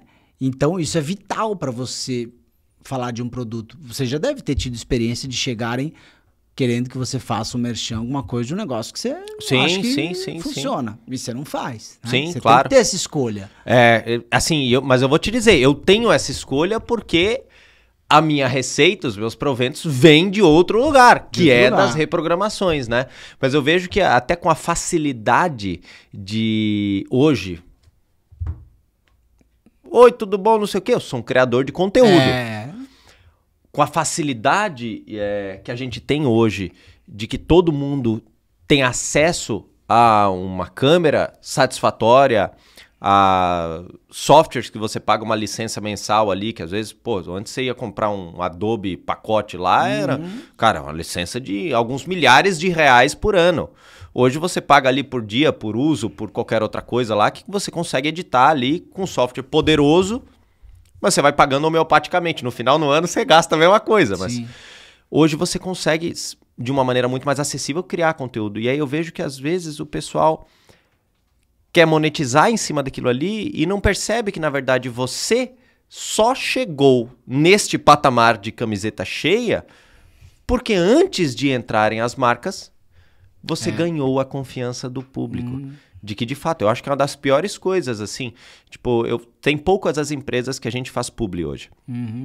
A Insider, por exemplo, é uma delas. E é uma empresa que, assim, bom, falando nela, tá aqui já desamassando. Mas justamente porque, cara, se você fala que é isso, é isso. E se algum de vocês tiver uma experiência ruim com a Insider, Fale. pode vir me falar, pode colocar ali, porque de fato.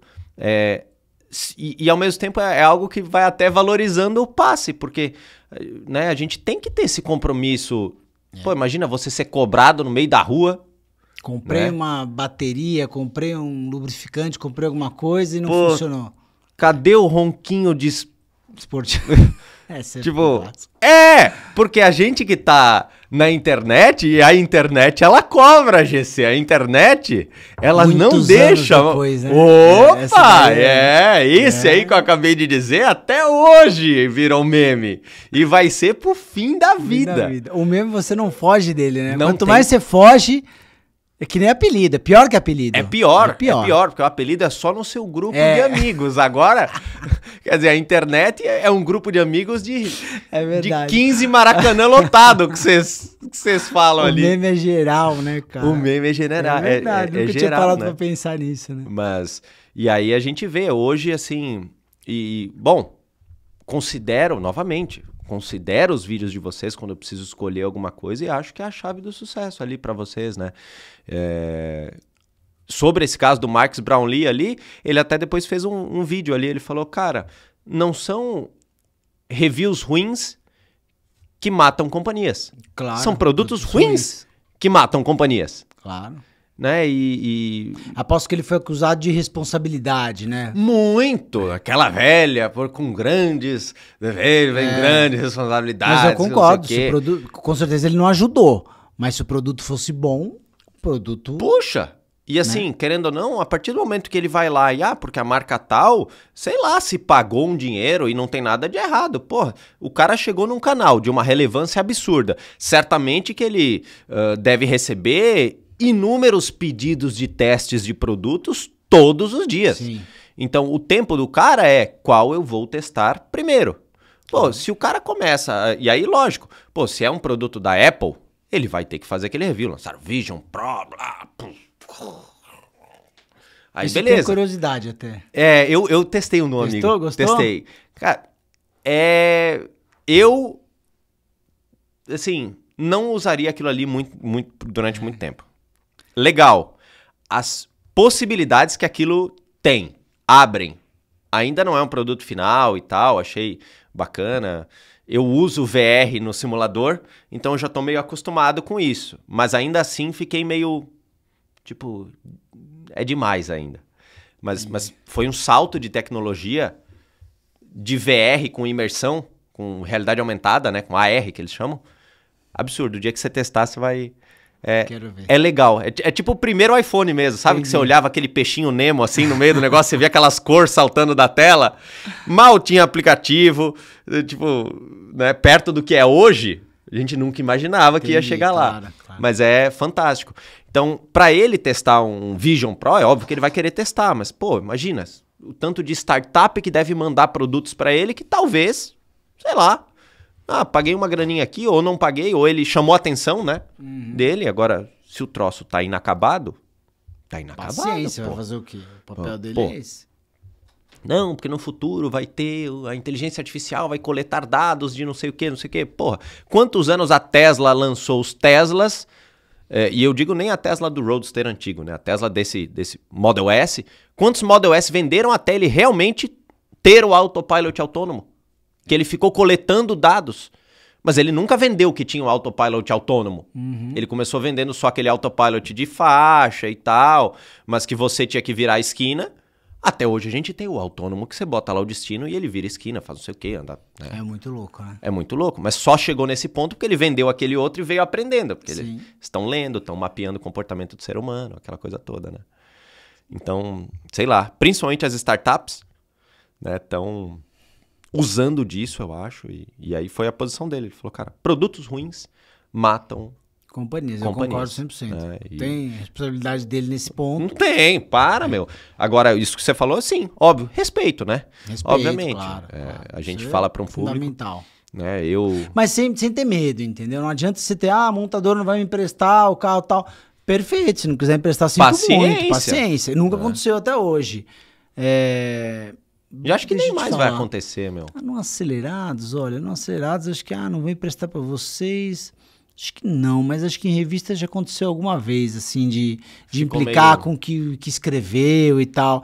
Beleza, não quer emprestar, não empresta. A gente aluga, pega emprestado, compra. Hoje não Jeito a tem- gente dá. é, hoje não tem pra onde correr a montadora, né? Ah, não, não, não gostei do, do, do Renault, do Volkswagen, do Nissan.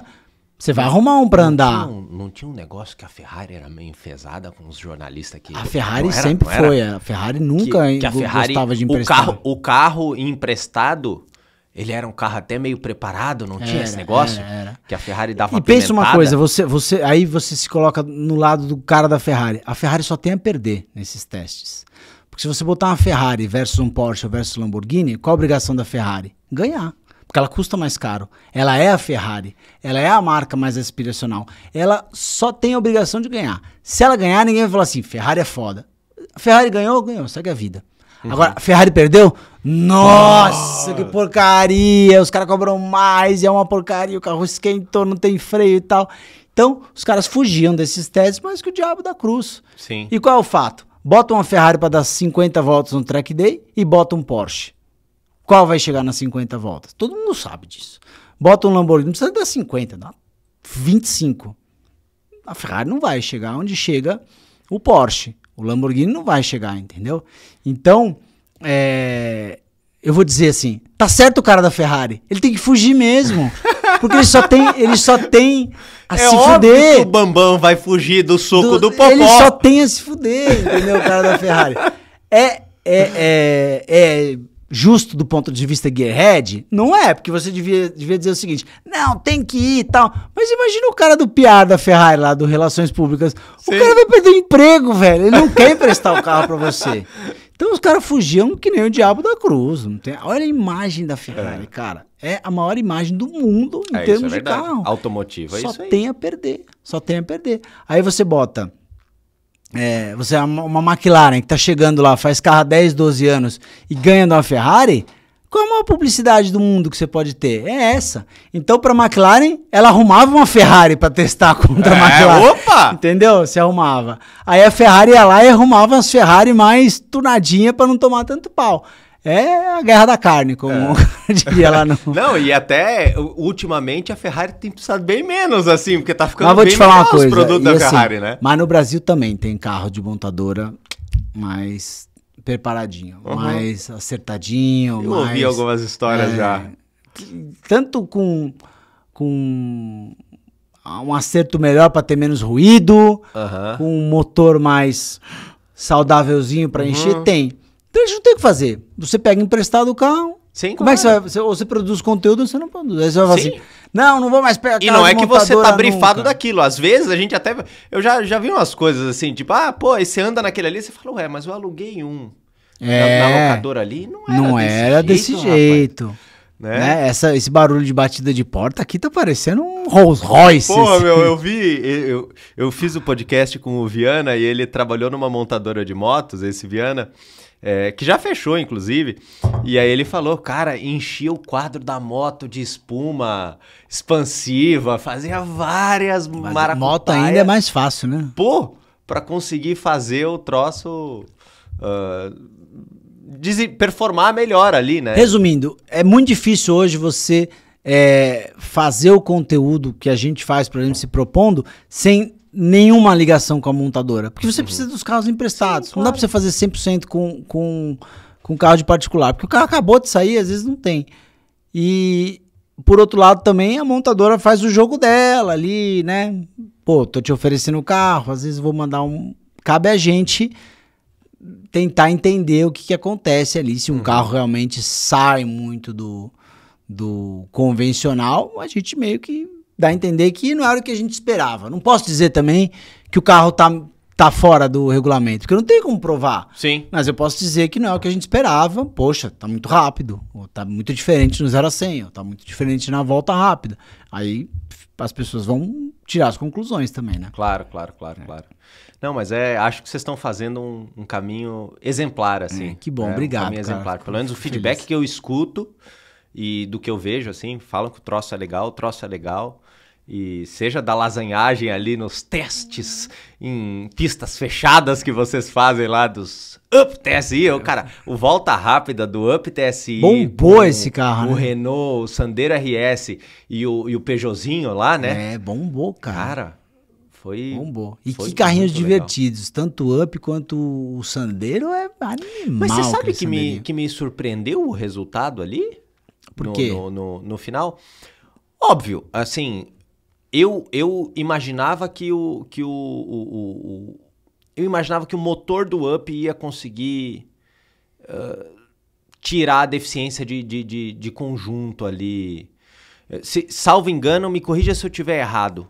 O, ganhou o Sandero no final. Ganhou por uma margem grande. O Sandero acho que Grande. virou 1,5 e o Up acho que virou 1,10. Isso. É. Eu achava que o Up ia conseguir chegar bem mais próximo, por causa da potência, claro, né? É que o Up tem um, tem um buraco de. de Um escalonamento nossa, ali, né? mas gigante, assim, tipo. Você fazia a curva 1, em segunda não dava, que ele fritava, aí você botava a Limitador. terceira. Ninguém em casa. Até ele ganhar, perdia um segundo numa curva, entendeu? Sim. Mas é, numa pista mais rápida, de repente, podia ser interessante. Na estrada, na marchinha. Tanto que no arrancadão ele foi muito bem. Pô, Pô, e tesão aquele carrinho na marcha certa. Agora, tipo, de segunda pra terceira, terceira pra quarta, pô, Ah. até a turbininha encher, era, era grande. Agora, o Sandero me surpreendeu. O Sandero ali, muito bem feito, cara. é que Muito eu, legal. eu, eu já acompanho os projetos de Sandero e é um carro. Pra mim, todo mundo fala, ah, qual? Pra mim, eu acho que é. é- Ele pegou o bastão do Civic SI. Pegou. Sabe? É, é, pegou. Ele pegou o bastão do Civic SI, ó, toma, carrinho sem tirar nem pôr, nada é. Ele, ele não é o melhor de tudo em nada, Nada. mas ele performa bem em tudo. É. Não, e assim, carro pra você é indestrutível. Pega um Sandero RS original, em vez de gastar não sei quanto no teu projeto, tal, tal, não sei o quê. Eu lembro que o Sandero RS vira 1,11 na volta rápida. E Interlagos acho que vira uns 2,12, uma coisa assim, original. Sim, sim, sim. Cara, sim. carro original de 70, 80 mil reais, hoje, fazer isso é o carro mais legal que tem. E outra, é muito tesão de E guiar. faz isso por 80 voltas, Voltas consecutivamente. Consecutivamente, exatamente. Então, Ele é sim o carro, pra, pra mim é o melhor custo-benefício, o carro mais legal, que se eu tivesse uma grana dessa pra ter um carro de pista, É. sem mexer ele já é muito legal. Sim, sim, Com sim. Pouquinha coisa ali, Nossa. aquele lá tava muito Tava bem muito. preparado ali. Tinha 80 mil de gasto. É, Mas com bastante 10 pau você não faz um negócio legal Pô, no Sandero RS? coletorzinho, um remap, um intake, de repente bota ali um pneuzinho um pouco melhor, Vai gastar isso aí, né? pô, carrinho fica, meu, muito legal. é muito legal. E, e- em tempo de, de, de pista ali, às vezes pode não virar um tempo absurdo, mas só de você conseguir ir para um evento de duas horas de pista, num track day, qualquer que seja, e você se divertir às duas é, horas. lógico. E voltar pra casa andando. E volta pra casa andando, sem dor de barriga. Meu É. Porque o que, que você quer fazer? Você quer virar 2 e 6 em uma volta, dar três voltas de cooldown e quem sabe na outra você sair pra virar mais 2 e 7 e tal? Ou você quer virar 35 voltas, 2 e 11, 2 e 11 e 4, 2 e... aprimorando a tua pilotagem Cara- e se divertindo pra cacete? É isso Tem aí. comparação. É isso aí. Às vezes as pessoas não fazem essa conta, né? Só quer cavalaria, só quer torque, só quer tudo e não faz a conta de quantas voltas eu vou dar e quanto eu vou me divertir no dia. E aí o Sandero RS é animal, cara. É imbatível. É, eu vou te dizer, sa- sabe, eu, eu tive essa percepção, eu, eu cheguei, a- fui um dos sortudos que consegui dar algumas voltas, fui para alguns track days no Autódromo Jacarepaguá, lá no Rio. Puta, Jacarepaguá. Jacarepaguá. E eu fui duas vezes de Mitsubishi Eclipse, 95, aquele lá mesmo. E obviamente que isso já não era década de 90, então já era bem velho. e óbvio que assim, era um carro que eu dava duas voltas, esquentava, ou dava alguma outra Nossa, coisa. nada me irrita mais do que É isso, cara. sempre alguma coisa acontece, o freio acaba, ou o carro esquenta, ou quebra, né? Uhum. É, de panes diversas. E, e você fica naquela. Você, você fica pilotando ali, e, e, sabe, tipo, com tudo isso na tua cabeça ao mesmo tempo, e trânsito, e isso e aquilo. E aí você fala assim, cara. E aí eu fui uma vez, me lasquei, voltei, na segunda eu voltei de guincho, ainda por cima, lasquei mais ainda. Deu um curto-circuito no carro, cara, pane generalizado. Desgraça. Eclipse, né? Não, não chama desgraça, chama Eclipse, velho. É, aí, cara, eu fui uma vez preparar uns carros na época, já alguns amigos estavam lá, fiz a calibração dos carros, e eu tinha ido com um New Fiesta 1.6 sedã original. Original. O carro tinha molinhas, não sei o que. Antes de eu comprar o carro, eu falei, meu amigo, pode arrancar, você tem todas as peças originais, pode, pode ficar com todas essas coisas, me dê que eu preciso de um carro para eu usar agora e me locomover do ponto A ao ponto B. E eu estava com aquele carro lá. Porra, começou a chover, aquele dia meio, sabe aquela pista meio mussarela, meio quatro queijo, sujeira aqui, aguinha ali, umidozinho assado. Falei, meu, era, era- era o Digo, eu acho que tava lá, que organizava o Octane. Falei, Digo, tem vaga aí? Tô fazendo nada, os carros estão andando bem, né? Fui dois dias antes, acertei todo mundo, nenhuma dor de barriga. Ah, tá. Paguei lá, entrei. Cara, essa história de eu poder andar e como a pista tava mais ou menos, cara, todo mundo anda- aproxima, né? Porque daí a minha falta de potência compensa porque eu entro na curva de pé embaixo. O cara lá já tinha que ficar tirando o pé, dosando, porque a pista molhada não, não dá pra dar pé trancado. E aí eu foi o track day que eu mais me diverti na minha vida. É, lógico. Você deu quantas voltas? E num carro muito mais fraco, eu consegui fazer quase o mesmo tempo do Eclipse, porque eu, sei lá, da primeira volta até a octagésima, sei lá qual volta que eu dei Você naquele foi se day, aprimorando. eu baixei 5 segundos, Entendi. É sem isso. mexer em nada no carro. E eu me tornei um motorista melhor. É, claro. Por quê? Piloto já, você já tá pilotando ali, já tava entendendo da pista. Pô, o carro escapou, vai escapar, escapou de traseira, acelera. Sabe? Memória muscular. Isso aí eu nunca ia ter conseguido com um Eclipse, mexido assim, sabe? Uhum. Ou com qualquer outro carro que seja preparado. Porque, pô, um carro preparado, cara, errou, embarrigou a primeira do S ali, acabou a sua volta. Nem Acabou. adianta. Você nem estressa o resto do carro, nem tenta, porque não vai vir, Claro. né? E num carrinho mais originalzinho assim, Não, eu sou fã. Carrinho diverti, é muito legal. Sandeirinha RS, Fiestinha. Todos esses ali. E aí depois no outro eu ainda comprei um jogo de roda Aro 15 de EcoSport, uns pneuzinhos slick usado. Aí ficou bom. Cara, gastei 350 reais, troquei disco, pastilha, filtro e óleo. E pau o no gato. dia inteiro, acabei o joguinho de pneu slick, botei os pneus original, continuei moendo com os pneus original.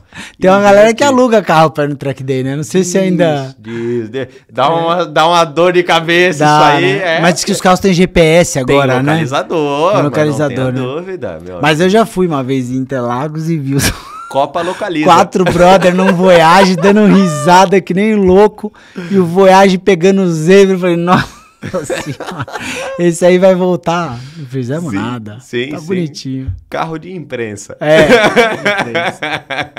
Ai, Tá mas, foi- zero. mas é uma experiência muito legal, assim. Qualquer carro, né? É, dar 100 voltas sem se preocupar é muito bom, né, cara? É, pô, não tem jeito. E você vê, não tem carro super. Tem muito carro super esportivo que não consegue fazer isso. Tem, né? tem, e muito tem, carro tem super muito, cara. Não consegue Tem. fazer isso. Tem um negócio que nunca ferve, nunca esquenta, nunca falta freio. Porsche. Esse aí é embaçado. Corriqueiramente esse nome. Esse é e volta. embaçado, cara. Pode andar de Cayenne, de Macan, de GT3 RS. Pode sair sapatar na primeira curva que vai ser tudo igual. Isso é impressionante, cara. Impress- E não vai ferver, você vai dar 100 voltas. E pro resto não, não é fato. Dificilmente você vai dar 15 voltas numa McLaren, numa Ferrari, sem aparecer uma luzinha, sem aparecer um... tira o pé ali. Não é nem Dá uma um- luzinha de que deu alguma, algum problema. É tipo assim, ó, irmão, Deu dá uma, uma, maneirada aí, duas ou três voltas. É. E o Porsche é embaçado, cara. Toda vez que a gente anda é inacreditável o que os carros fazem. Da hora. Todos. Legal isso aí, hein? E caminhando agora já também pra uma outra parte. O que, que você tem achado, você que é um, um, né, um cara que consegue testar bastante coisa que tá entrando no mercado, né? O que que você... O que que te surpreendeu, né? No mercado dos carros que você testou assim e falou assim. Às vezes não é nem de tipo super esportivo, mas de nada. De, de tipo assim, cara, que coisa, que sacada, que tecnologia, que coisa assim, que te realmente destoou assim daquilo que você tá acostumado. Cara, eu vou falar um negócio que gera paixão e ódio, muitas vezes mais ódio, né? Mas os elétricos e os híbridos, não tem como falar que eles não surpreendem e que eles não são muito legais. Na indústria, o que mais me surpreendeu nos últimos anos foram as chegadas dos elétricos e híbridos. Tanto em termos de eh, proposta de design, os carros híbridos Sim. e os elétricos são diferentes em design, são diferentes em, em proposta, como no que eles entregam de potência, de economia no bolso, enfim, é, de tudo que você pode ter pensando no meio de transporte. Lembra daquilo que eu te Uhum. Sim, falei? sim, sim, sim. Em relação ao meio de transporte, por exemplo, a BYD. Eu faço um monte de coisa para BYD comercialmente, Uhum. mas não é por isso e, e por conta disso várias pessoas me ligam perguntando a mesma coisa que elas perguntam sobre todas as marcas. sobre- É bom mesmo? Posso comprar? Eu falo, cara, vai lá andar, vai lá andar que você vai ver. Eu acho, eu gosto, eu gosto dos carros. Eu acho que você não vai fazer um mau negócio. Tem a GWM também, vai ver também se você gosta. Tem outros elétricos, tem Mini, tem Renault, tem um monte de marca. Mas o carro é bom sim, eu, eu gosto, eu teria. Então, o- o- esse mercado de elétricos e híbridos, o que ele trouxe para o mercado em geral, para mim é muito né? É surpreendente. mundial. E outro exemplo, se odeia elétrico, se odeia híbrido, não tem problema. Você está sendo beneficiado. Sabe por quê? A Jeep deixou o, o Compass 40 pau mais barato porque a concorrência com a BYD está feroz. E os caras precisaram se mexer e cortaram a margem deles e o carro ficou mais barato. Então, isso é bom para todo mundo. Mesmo que você não goste de elétrico e de híbrido, um bom elétrico e um bom híbrido no mercado vai fazer a marca que tem combustão se mexer para ou baixar o preço do carro, ou dar mais equipamento, ou oferecer taxa zero, fazer alguma coisa para mudar isso. Então, eu acho que a grande, o grande lance dos últimos anos no mercado automotivo que tem surpreendido, que as pessoas precisam conhecer, se você está no mercado e quer um carro zero aí na faixa de acima de 100 mil reais, né? Porque você não vai achar elétrico ou híbrido abaixo disso, vá conhecer o que tem de elétrico e híbrido. Você pode não gostar, você pode é, é, ah, não é para mim e tal, mas vai ver, vai ver porque é interessante, é um movimento muito legal é, na indústria, né?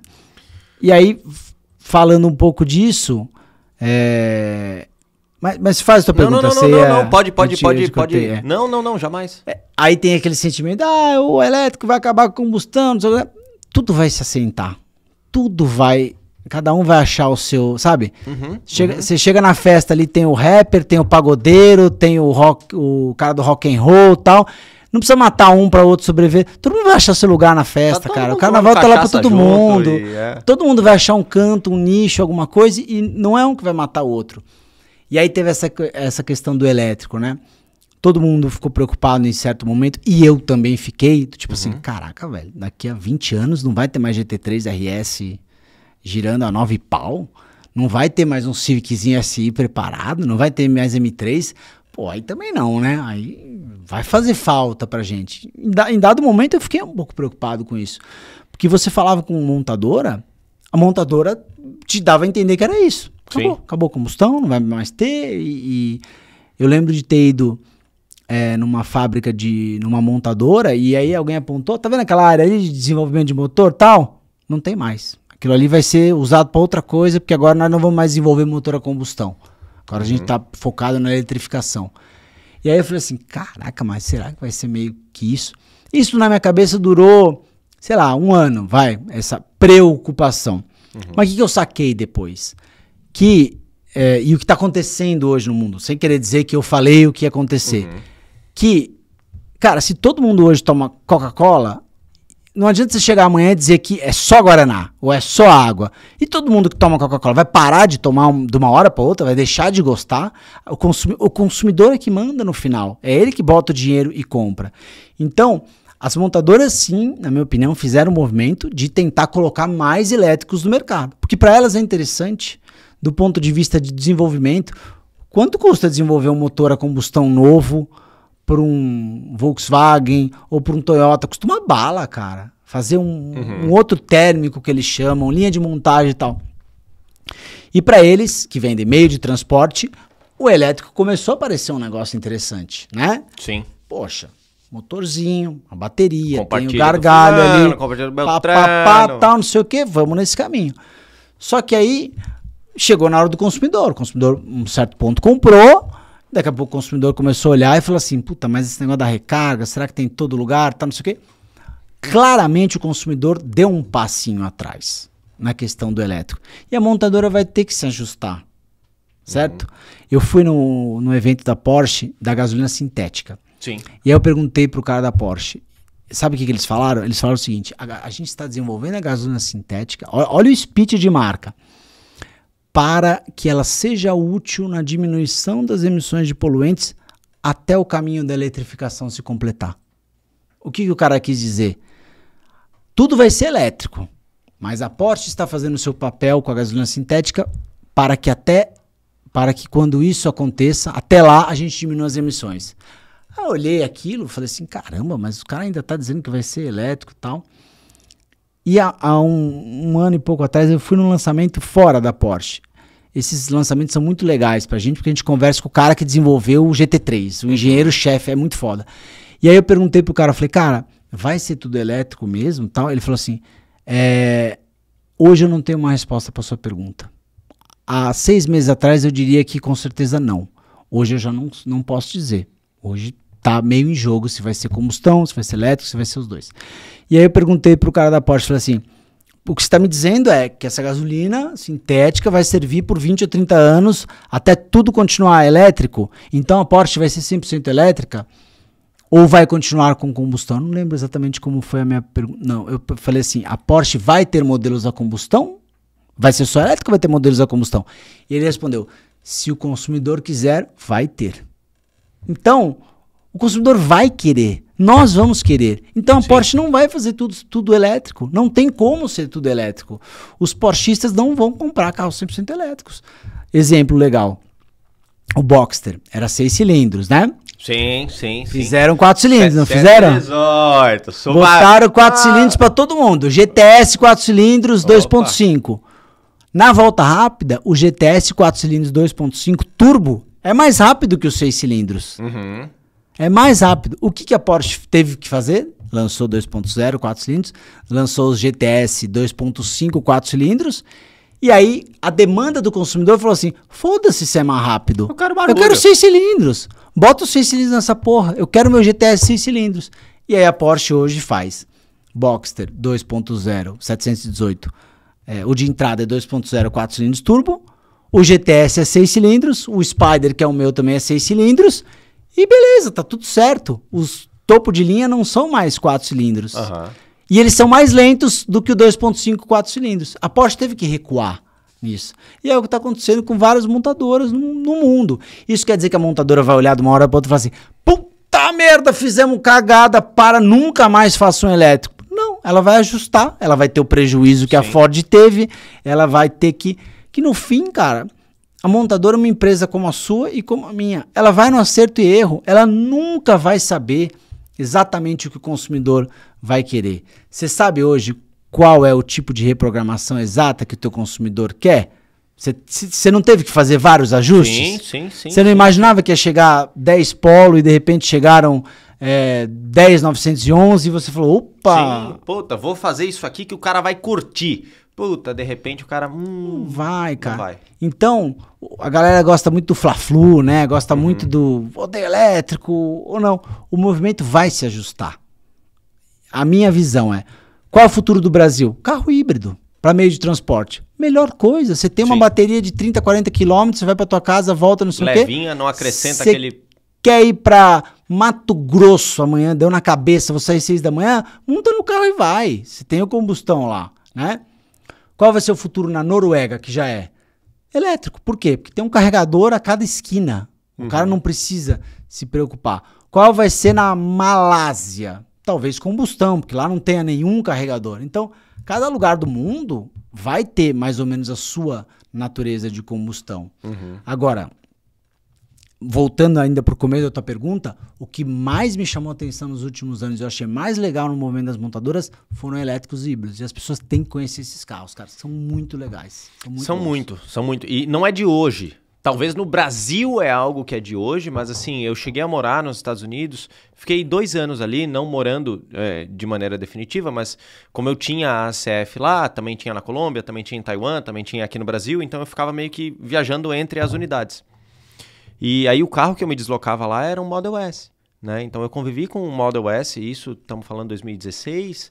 Ainda não era o que é hoje a Tesla lá, mas já era uma coisa assim absurda em termos de performance eh, e, e os carregadores lá sempre foram muito tranquilos. E é algo que, por exemplo, todo mundo fala, pô, mas você não gosta e tal. Óbvio, cara, eu, eu, eu nasci gostando de combustão, é, aprendi a gostar do produto que é elétrico e, e o que o elétrico entrega é outra coisa. Cara, nada impede. Eu gosto de churrasco e eu gosto de um sushi. Lógico, Eu exatamente. gosto dos dois, sabe? Não é porque eu gosto de sushi, não. Churrasco é uma merda, isso aqui e tal. Tudo bem, talvez você seja vegano e não goste de nenhum dos dois e também tá Beleza. tudo certo. Mas não vá lá querer fechar a churrascaria do É Zezinho, pô. lógico. Não vá lá, pô, protestar com os salmões indefesos do mundo na, na porta lá da, da temaqueria, pô. Ou chamar o vegano de idiota. Ou chamar o vegano de idiota. Ca- Cada um que faça cara. ali o que te faz feliz. Então, essas imposições, igual aparentemente os governos estavam ali exigindo, eu acho que, minha opinião pessoal, né? De fato, tem que se forçar o aumento da eficiência dos motores Claro. de combustão interna. Que ainda hoje no mercado são extremamente ineficientes perto do que eles conseguem fazer. Claro. Hoje a gente tem motores de combustão interna na Fórmula 1. E a própria montadora pode botar mais dinheiro e diminuir o lucro dela pra fazer claro, isso. Deve motores fazer. com mais de 50% de eficiência na combustão interna. Exato. Hoje a gente está falando motores ali que estão no mercado que não chegam a 30. É, 20, 30, exato. sabe? Então, assim, a gente tem ainda uma margem absurda para se galgar na linha de produção na questão da eficiência. Uhum. Antes de você pegar e falar, não, a partir de 2030 não pode ser mais produzido nenhum carro a combustão. Por quê? Porque eu aqui acabei Porque de hoje é o que, elétrico que vai salvar o tipo, mundo. pô, aí não, cara. Mas como é que é feita a lei, né? No Brasil e no mundo. Pô, não é agora- feita por quem entende. Hoje você acabaram de passar a porra do biodiesel, cara. Você tá por dentro desse negócio meio, aí? Não, tô meio por fora, que vai ter que ter no. Cara, um aumento, isso aí vai dar uma bosta, GC. Tipo assim, não tô nem falando do etanol, porque grande parte da nossa frota já é flex. O etanol, pela performance, ele até chega a ser um produto que vai ter mais octanagem, porque, lógico, o etanol é mais. ah, detona mais difícil do que a gasolina. Tanto que por isso que a gente tirou o chumbo e colocou o etanol como agente antidetonante. Mas, cara, porra, o biodiesel é outra conversa, cara. A gente tá falando de problemas na armazenagem, na estocagem, na utilização, na não adequação de, pô, por que, que até hoje os aviões não se muda a gasolina dos aviões? Porque, pô, porque você tá com um avião de 1970 voando com o mesmo motor até hoje. Você não pode chegar e mudar o combustível de aviação porque, pô, por interesses escusos. Claro. Pô, e como é que me passa uma canetada dessas, brother? Mas o que acontece? Passa uma canetada, vai dar merda, vai ter que voltar atrás. Qual a quantidade de prejuízo nesse meio tempo? Olha é o- enorme. né? o, pepino acumulado que isso vira, bicho. E, Não, e- e óbvio, isso- ninguém vai levantar uma bandeira que, ó, eu sou a favor aqui da pô do rombo da camada de ozônio, mas, tipo, pô, tipo, E o que você falou do- do- das leis, ah, 2030 na Alemanha não faz mais carro a combustão, tal, não sei o quê.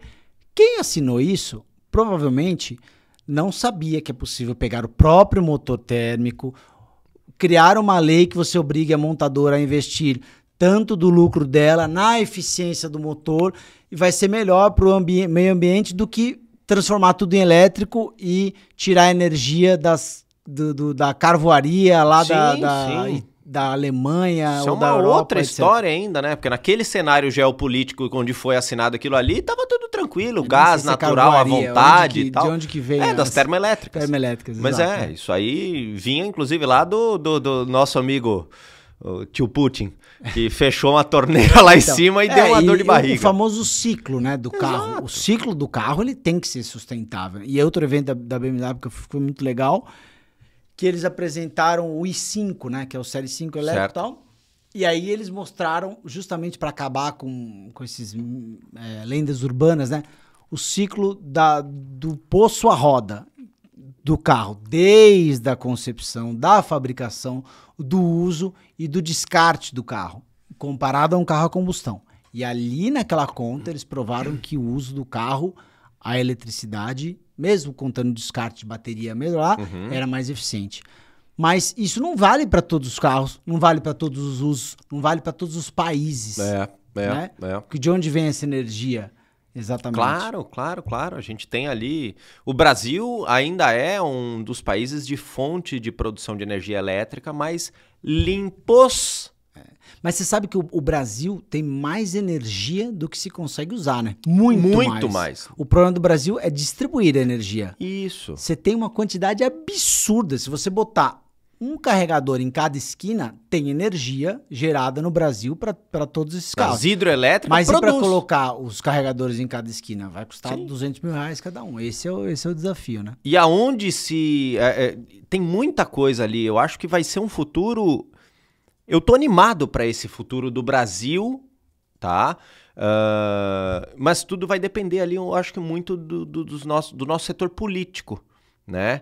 Ah, não sei se feliz ou infelizmente, porque, inclusive, a gente estava aqui na Blue, tava tendo um podcast. Qual que era, Pedro? É, para o pessoal seguir ali, muito interessante. Boltcast. É, Boltcast, de um pessoal que trabalha com esses créditos ah, e no mercado de energia, Ah, né? no tá, comércio tá. de energia. Né? Carbono, Essa né? commodity que é a energia, né? igual soja, igual isso, igual aquilo. Mas no Brasil a gente ainda não tem essa, visu- eh, essa visão. Você não pode vender eletricidade se, não, se você não for a, a, a- a concessora, né? a empresa que tem a concessão de venda de eletricidade elétrica no, no, no, no país. E isso para eletrificação é um atraso. Quer dizer, estamos agora vendo um esforço de grandes marcas em, em inundar, inundar não, porque a quantidade ainda é baixa, mas em, em trazer para o mercado brasileiro carros elétricos. E, e ok, eu acho que assim, eles estão certos. É uma empresa, tem que dar lucro que dar no lucro. final do dia. Tem que dar lucro. Mas não se está preocupado é, e, e nem é para as empresas se preocuparem. A BYD, a GWM, a Volvo, não- tem que se preocupar que, cara, tá uma fila aqui. Você passa aqui na Avenida dos Bandeirantes, tem aquele postinho da Raizen ali com, com, É, né? com a fila de carro para elétrico para abastecer ali. Mas no Brasil a gente, eu acho que estamos com a gente essa pressão das montadoras está fazendo a gente começar a obra da nossa casa pelo telhado e não pelo pelo assoalho. É, é, mas eu diria que a, a pressão não é nem só das montadoras, é dos governos que, por não ter tanta gente entendendo, fazendo as leis, acabou, com perdão da expressão, cagando uma regra na cabeça da montadora. Para a montadora também, às vezes, pode ter sido um pouco conveniente fazer o elétrico. É um efeito meio. Como é que eu posso dizer? É, eu sempre falo isso. Quando você começa a ter uma- um, um tipo de um, um movimento em que tudo vai virar isso, tudo vai virar isso, de uma hora para outra. Um hype, vai. uma tendência. Uma hype, um hype, exato. Essa é a palavra que eu queria. Começou um hype e eu só olhava esse hype e falava assim: não, vai, não é possível que seja assim. Não, não vai ser de uma hora para outra. Levou 150 anos para você estabelecer a rede de, de reabastecimento de combustível, os postos de gasolina, os carros a combustão, os motores como eles são, as montadoras. Cara, existe carro há 150 anos Sim. tudo isso foi moldado. Como é que você vai chegar e falar assim, em 5 anos, em 10 anos, esquece tudo isso? Porque você tá refazendo, né? Só, só vai ter quatro pneus e, É, e carroceria e tal. Toda a parte energética, que é onde tem posto de gasolina, onde tem é, desenvolvimento de motor, você está refazendo tudo. Então, você quer redesenhar a indústria e redesenhar a indústria de abastecimento em 5 anos? Inviável. Sim. É inviável. Você pode fazer em 30, em 40, em ma- mas você não vai fazer em 5. Como 2030 está logo ali, como diria o Fernando Vanucci. Cara, 2030 é daqui a 6 anos. Como é que você imagina 2030 só tem carro com- elétrico na Alemanha? Você imagina isso?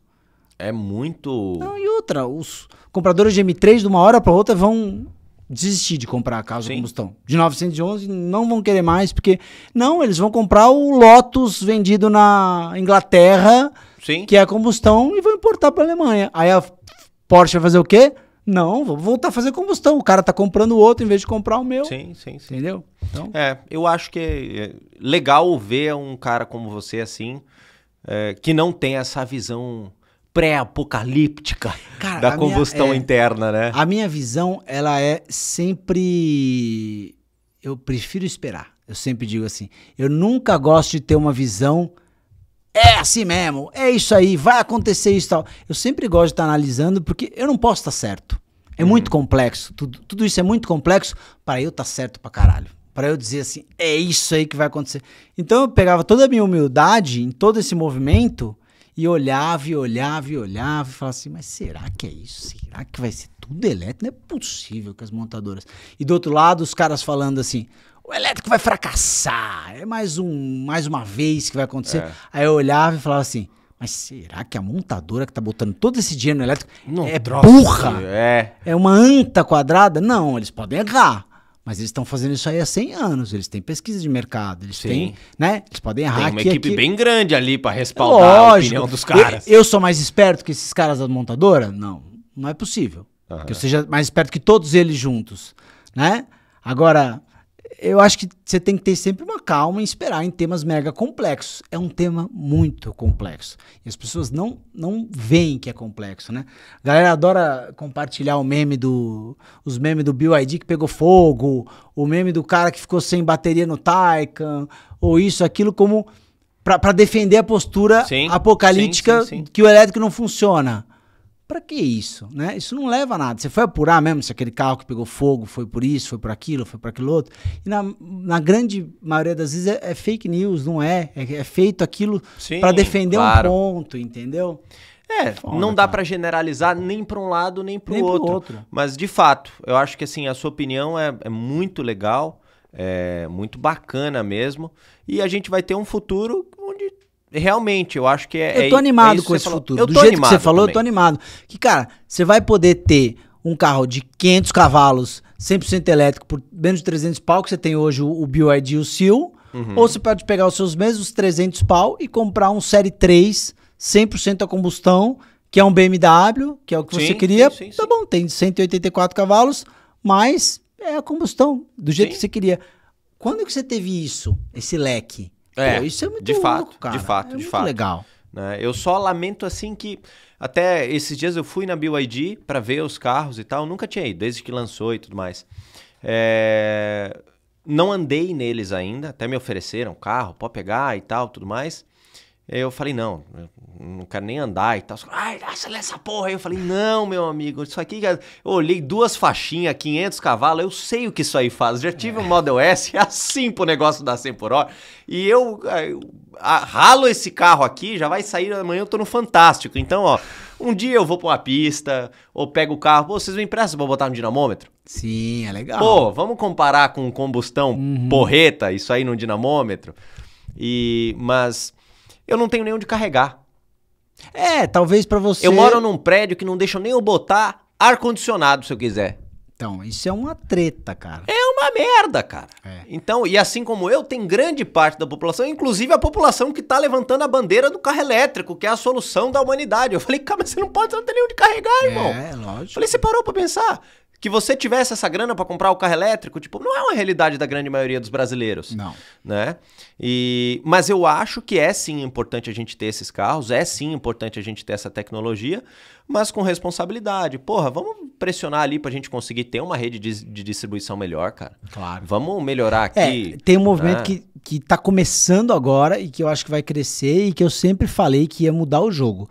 Quando os grandes players de fornecimento de energia petrolífera entrarem no ramo da, do fornecimento de energia elétrica, Uhum. Sim. que é o caso da Shell. Sim, Por exemplo, sim, fechou recentemente essa notícia que fechou não sei quantos postos para abrir é, postos de recarga. Eletropostos ali. né? Eletropostos. Cara, a hora que isso começar, isso vai mudar o jogo também. Sim. Porque a Shell é, é besta? Não, eles estão vendo esse movimento durante muito tempo. Eles vendem energia. No meu caso, pô, se eu tenho um posto desses que vai carregar minha bateria em 20 minutos, Fica viável um elétrico Não, eu pago 15 conto, 20 conto, tô pagando 400 pra encher o tanque de pódio da, cara, da ca- caravan velha, com a careca que eu comprei ali, pô, não vou pagar 20 Vai na encher. Podium, chique, hein, a caravana? Ah, eu gosto, cara, eu gosto. Assim, Fica redondinha, né? pô, esse, é, é assim, é que, é, não sei, no final, dá pouca diferença pelo, pela, pela qualidade que a gente vê ali de... de eu, eu não tenho alguns carros na garagem, eu não tenho como ficar andando direto com eles, embora que a caravana acabei de pegar, então eu tô pra cima, pra baixo, vim passando calor aqui, cara... eu- Não tem ar-condicionado? Não, não, Não? tem, não tem, não tem. É quatro cilindrinhos, Ah, Commodore. mas a minha, a minha régua pra comprar carro velho é tem que ter ar-condicionado. Não, Puta eu, que você ó, eu vou te dizer que foi a única coisa, assim, todo mundo, porra, vai fazer projetão, seis anos, né? O pessoal, assim, já tá todo mundo querendo que eu alargue caixa e tudo mais. Veio o alemão da caravana, veio ontem aí, porra. ah, Eu falei, cara, eu só quero botar um ar-condicionado. Essa Esse é é a meu minha única, cara. atual. Falei, ó, esse carro seria perfeito com um ar-condicionado. Perfeito, assim, do jeito que ele é hoje.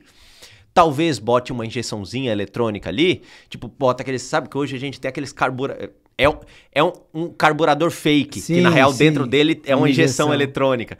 Aquilo ali pra mim, cara, porque é isso. Eu não tenho muito carro, então às vezes precisa ficar parado aqui por um negócio assim, a gente precisa fazer conteúdo, então ah, o carro vai pra funilaria, vai ficar sei lá quanto tempo parado. Isso aí pra mim eu acho que é o, é o plus da, da Podium, assim, sabe? Entendi, é. Tipo, fica um Conserva, ano né? o troço ali parado e, e eu vou bater na chave e eu tenho confiança naquele combustível. Embora que a caravana ainda não tá preparada. Mas num carro que a gente tem que é preparado, eu tô contando que aquele combustível vai estar sempre bom, sabe? Entendi, entendi. Então, se a gente pega uma gasolina comum, ah, às vezes ela. Às vezes não. Ela tem uma data de validade menor do que a Podium. Sabia disso? É, não, sei, sei. Hã? sei. É, sei. então, assim, a galera de casa ali às vezes não sabe, cara. Três meses a sua gasolina comum tá vencida. Três meses, mais ou menos. Três. Então ali perdeu octanagem, absorveu água. Isso aí no diesel é, é crítico de absorver água, né? Então, num carro preparado, ficou muito tempo parado assim. Né? Às vezes pode ser a diferença de você ter uma falha catastrófica de motor ou não. Entendi. Então, no fim, eu acabo pagando um pouquinho mais caro no litro. Olha aí, Pódio, Postos Petrobras. Tem que É. patrocinar uma CF, ó, Tamo, já tamo, fez aqui. estamos aí. Mas é. verdade. Não só Podium também, né? Mas tem diversas outras gasolinas de alta Sim. octanagem ali no mercado, né? Hoje o Brasil, graças a Deus. E um- é, um, é um tema interessante esse de combustível, né? Porque eu, eu vejo tanta gente criticando o nosso combustível aqui no Brasil, né? Você falou dos grandes players ali. E eu tive a oportunidade de preparar carros ao redor do mundo inteiro.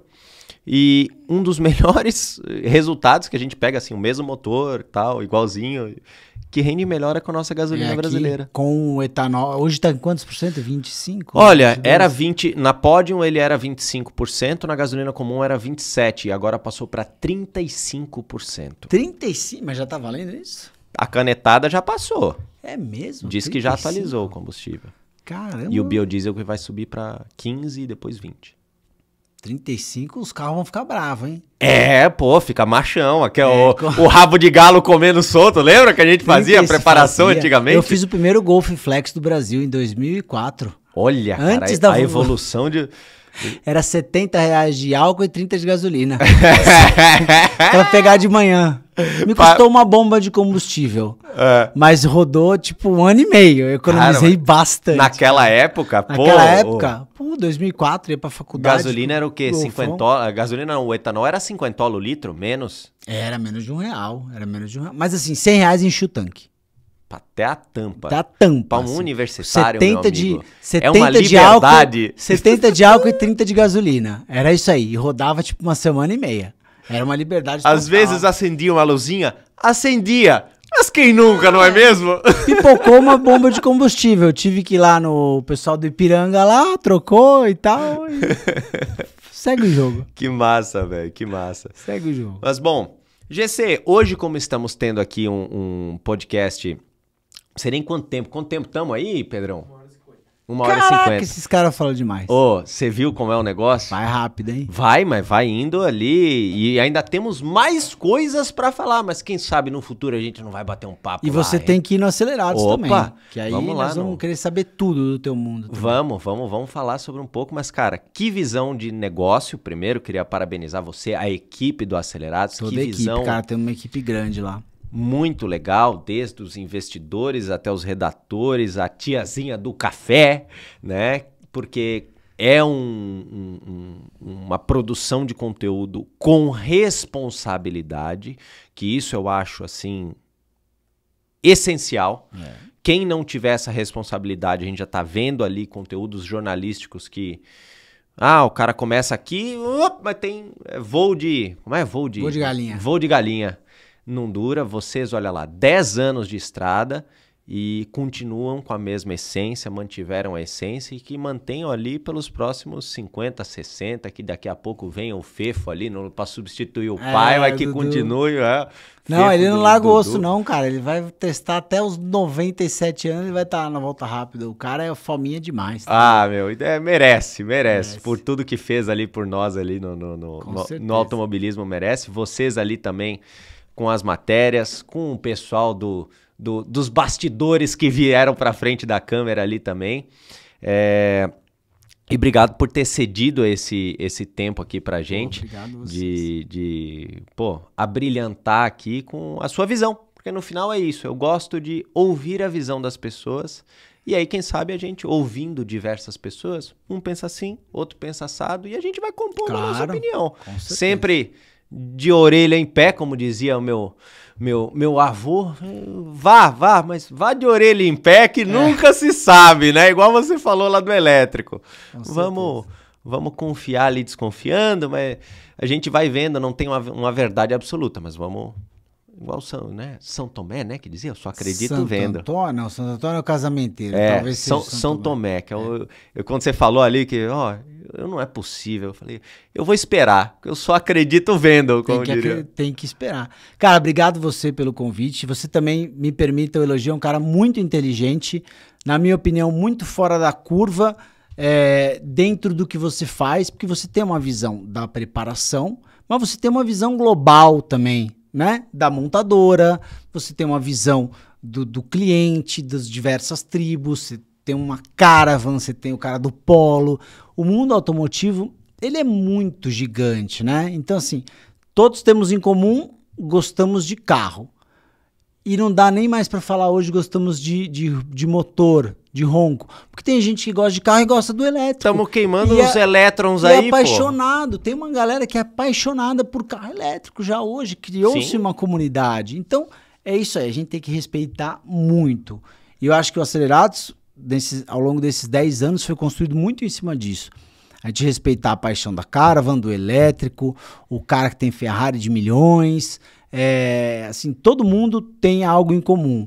E eles também têm que nos respeitar de volta e a gente fazer esse, esse jogo legal entre nós, porque as pessoas nos ajudam muito a produzir conteúdo. Eu sempre falo, galera que vai lá, cara, o cara tira o dia dele, roda 200 quilômetros, vai lá, leva o carro dele, empresta pra você, tem o prazer de ver aquilo, volta pra casa dele. Então, assim, o público é muito importante no que a gente faz. Então, a gente é muito agradecido a- ao público e eu sou muito feliz também de ver como a paixão por carros nesses 10 anos, nesses 20 anos que eu trabalho com isso, e nesses 10 que a gente está fazendo acelerados, não diminuiu. Muito pelo contrário. Eu acho que ela só aumenta. Né? Tem essa história de ah, as pessoas não querem mais saber de carro, molecada não quer, não quer tirar habilitação. Eu acho que eh, na nossa época, você ir para uma festa ou não, você tinha que ter um carro. Não tinha Uber. O táxi custava 400 reais para ir de Guarulhos, onde eu morava, até São Paulo. Não tinha esse mundo. Então, você tinha que ir um carro, era muito mais fácil. Hoje a galera tem mais opção. Mas isso não quer dizer que as pessoas estão gostando menos de carro, na minha opinião. É. A indústria tá aí, tá vendendo carro pra caramba. É, você tem novos designs, novos modelos, novas montadoras, novos players. Então, eu acho que segue essa paixão segue mais viva do que nunca, cara. E é só mais legal, porque você tem mais vertentes, você tem mais montadoras, você tem mais concorrência, né? O que o preço dos carros subiu depois da pandemia? Porra, ferrou muito a nossa vida, né? Sim. Então, é bom você ver uma concorrência que nem essa, BYD, Jeep, que fez o preço dos carros é, cair. isso aí é legal. Pô, daqui a pouco chega alguma que faz o preço do BMW cair, do Audi cair, maravilhoso, cara. Então, é isso aí. Montadora, vocês têm que diminuir um pouquinho a Deus te ouça. Deus É. te ouça. BMW, Porsche. Porsche. Porsche. Porsche também Você já ó, conseguiu o seu, mas ó, calma que eu tô aqui remando e tem que remar muito Puta, até Porsche, a Porsche foi uma cara. que deu uma uma pesada, tem que dar uma segurada. Ah, deu uma pesada Deu uma mesmo ali, pesada. deu uma pesada, mas enfim. Mas é isso aí, cara. Já fica meu convite pra você ir lá no nosso do Acelerados depois também. Vamos bater agendas aí, bater um papo legal lá. Vai ser com certeza um prazer, tá? Bom, como eu prometi pra vocês, Olha! ó, ó, cadê o, cadê o vinco aqui? Mostra, dá- chama no zoom ali, ó. Chama, chama no zoom aqui, Pedrão. Ó, eu agora estou malhando, ó, Tá malhando o, o superior aí? Tô- não, tô malhando tudo, cara. Isso aqui eu entrei num projeto da Max Titanium lá, ó. Tá pago de hoje, olha lá, ó. Tá vendo só? Isso aí, ó. Eu gosto, cara. Uso Insider também. É uma marca bem surpreendente, viu? Cara, bem legal. Me, eu já comprei a primeira vez porque acompanhava o Lito, sabe? Do Aviões e Sim, Músicas. sim, sim. Acompanhava o Lito, ele fez a prova. Falei, cara, vou comprar lá. Lito, Lito 12, sei lá quanto que era, 12, 15, 16. Comprei a primeira vez. Falei, cara, que legal isso aqui. E é uma camiseta para muitas ocasiões, mas eu adoro sair do banho, se enxugar e tal. Pum, bota insiderzinha. Meu, uma delícia, cara. Você não tá Levíssima, usando né, nada. É muito bom, muito bom mesmo. Bom, então é isso. Obrigado de verdade. Um forte abraço. Obrigado a vocês que sempre estão aqui com a gente, que né, prestigiam a gente aqui com a audiência durante o ao vivo. Desculpem que esse teve que ser gravado um pouquinho diferente. Desculpa, gente. Né? Mas vocês sabem, eu tenho que viajar, às vezes não dá pra estar aqui todas as quartas-feiras ao vivo com vocês. Então, pra não deixar passar em branco, a gente faz esses episódios gravados e gravar com essa figura aqui, cara, é um privilégio pra Poxa, pouquíssimos. obrigado. Espero que tenha sido gostoso pra vocês, assim como foi bacana pra mim estar aqui ouvindo esse camarada que com certeza é um ícone pra todos vocês. Bom, dá pra tocar aquela musicazinha já, ô Pedrão? Tararara, tá, tarara. Qual que é a musiquinha? Pam, para, tan, tan, tan, pam.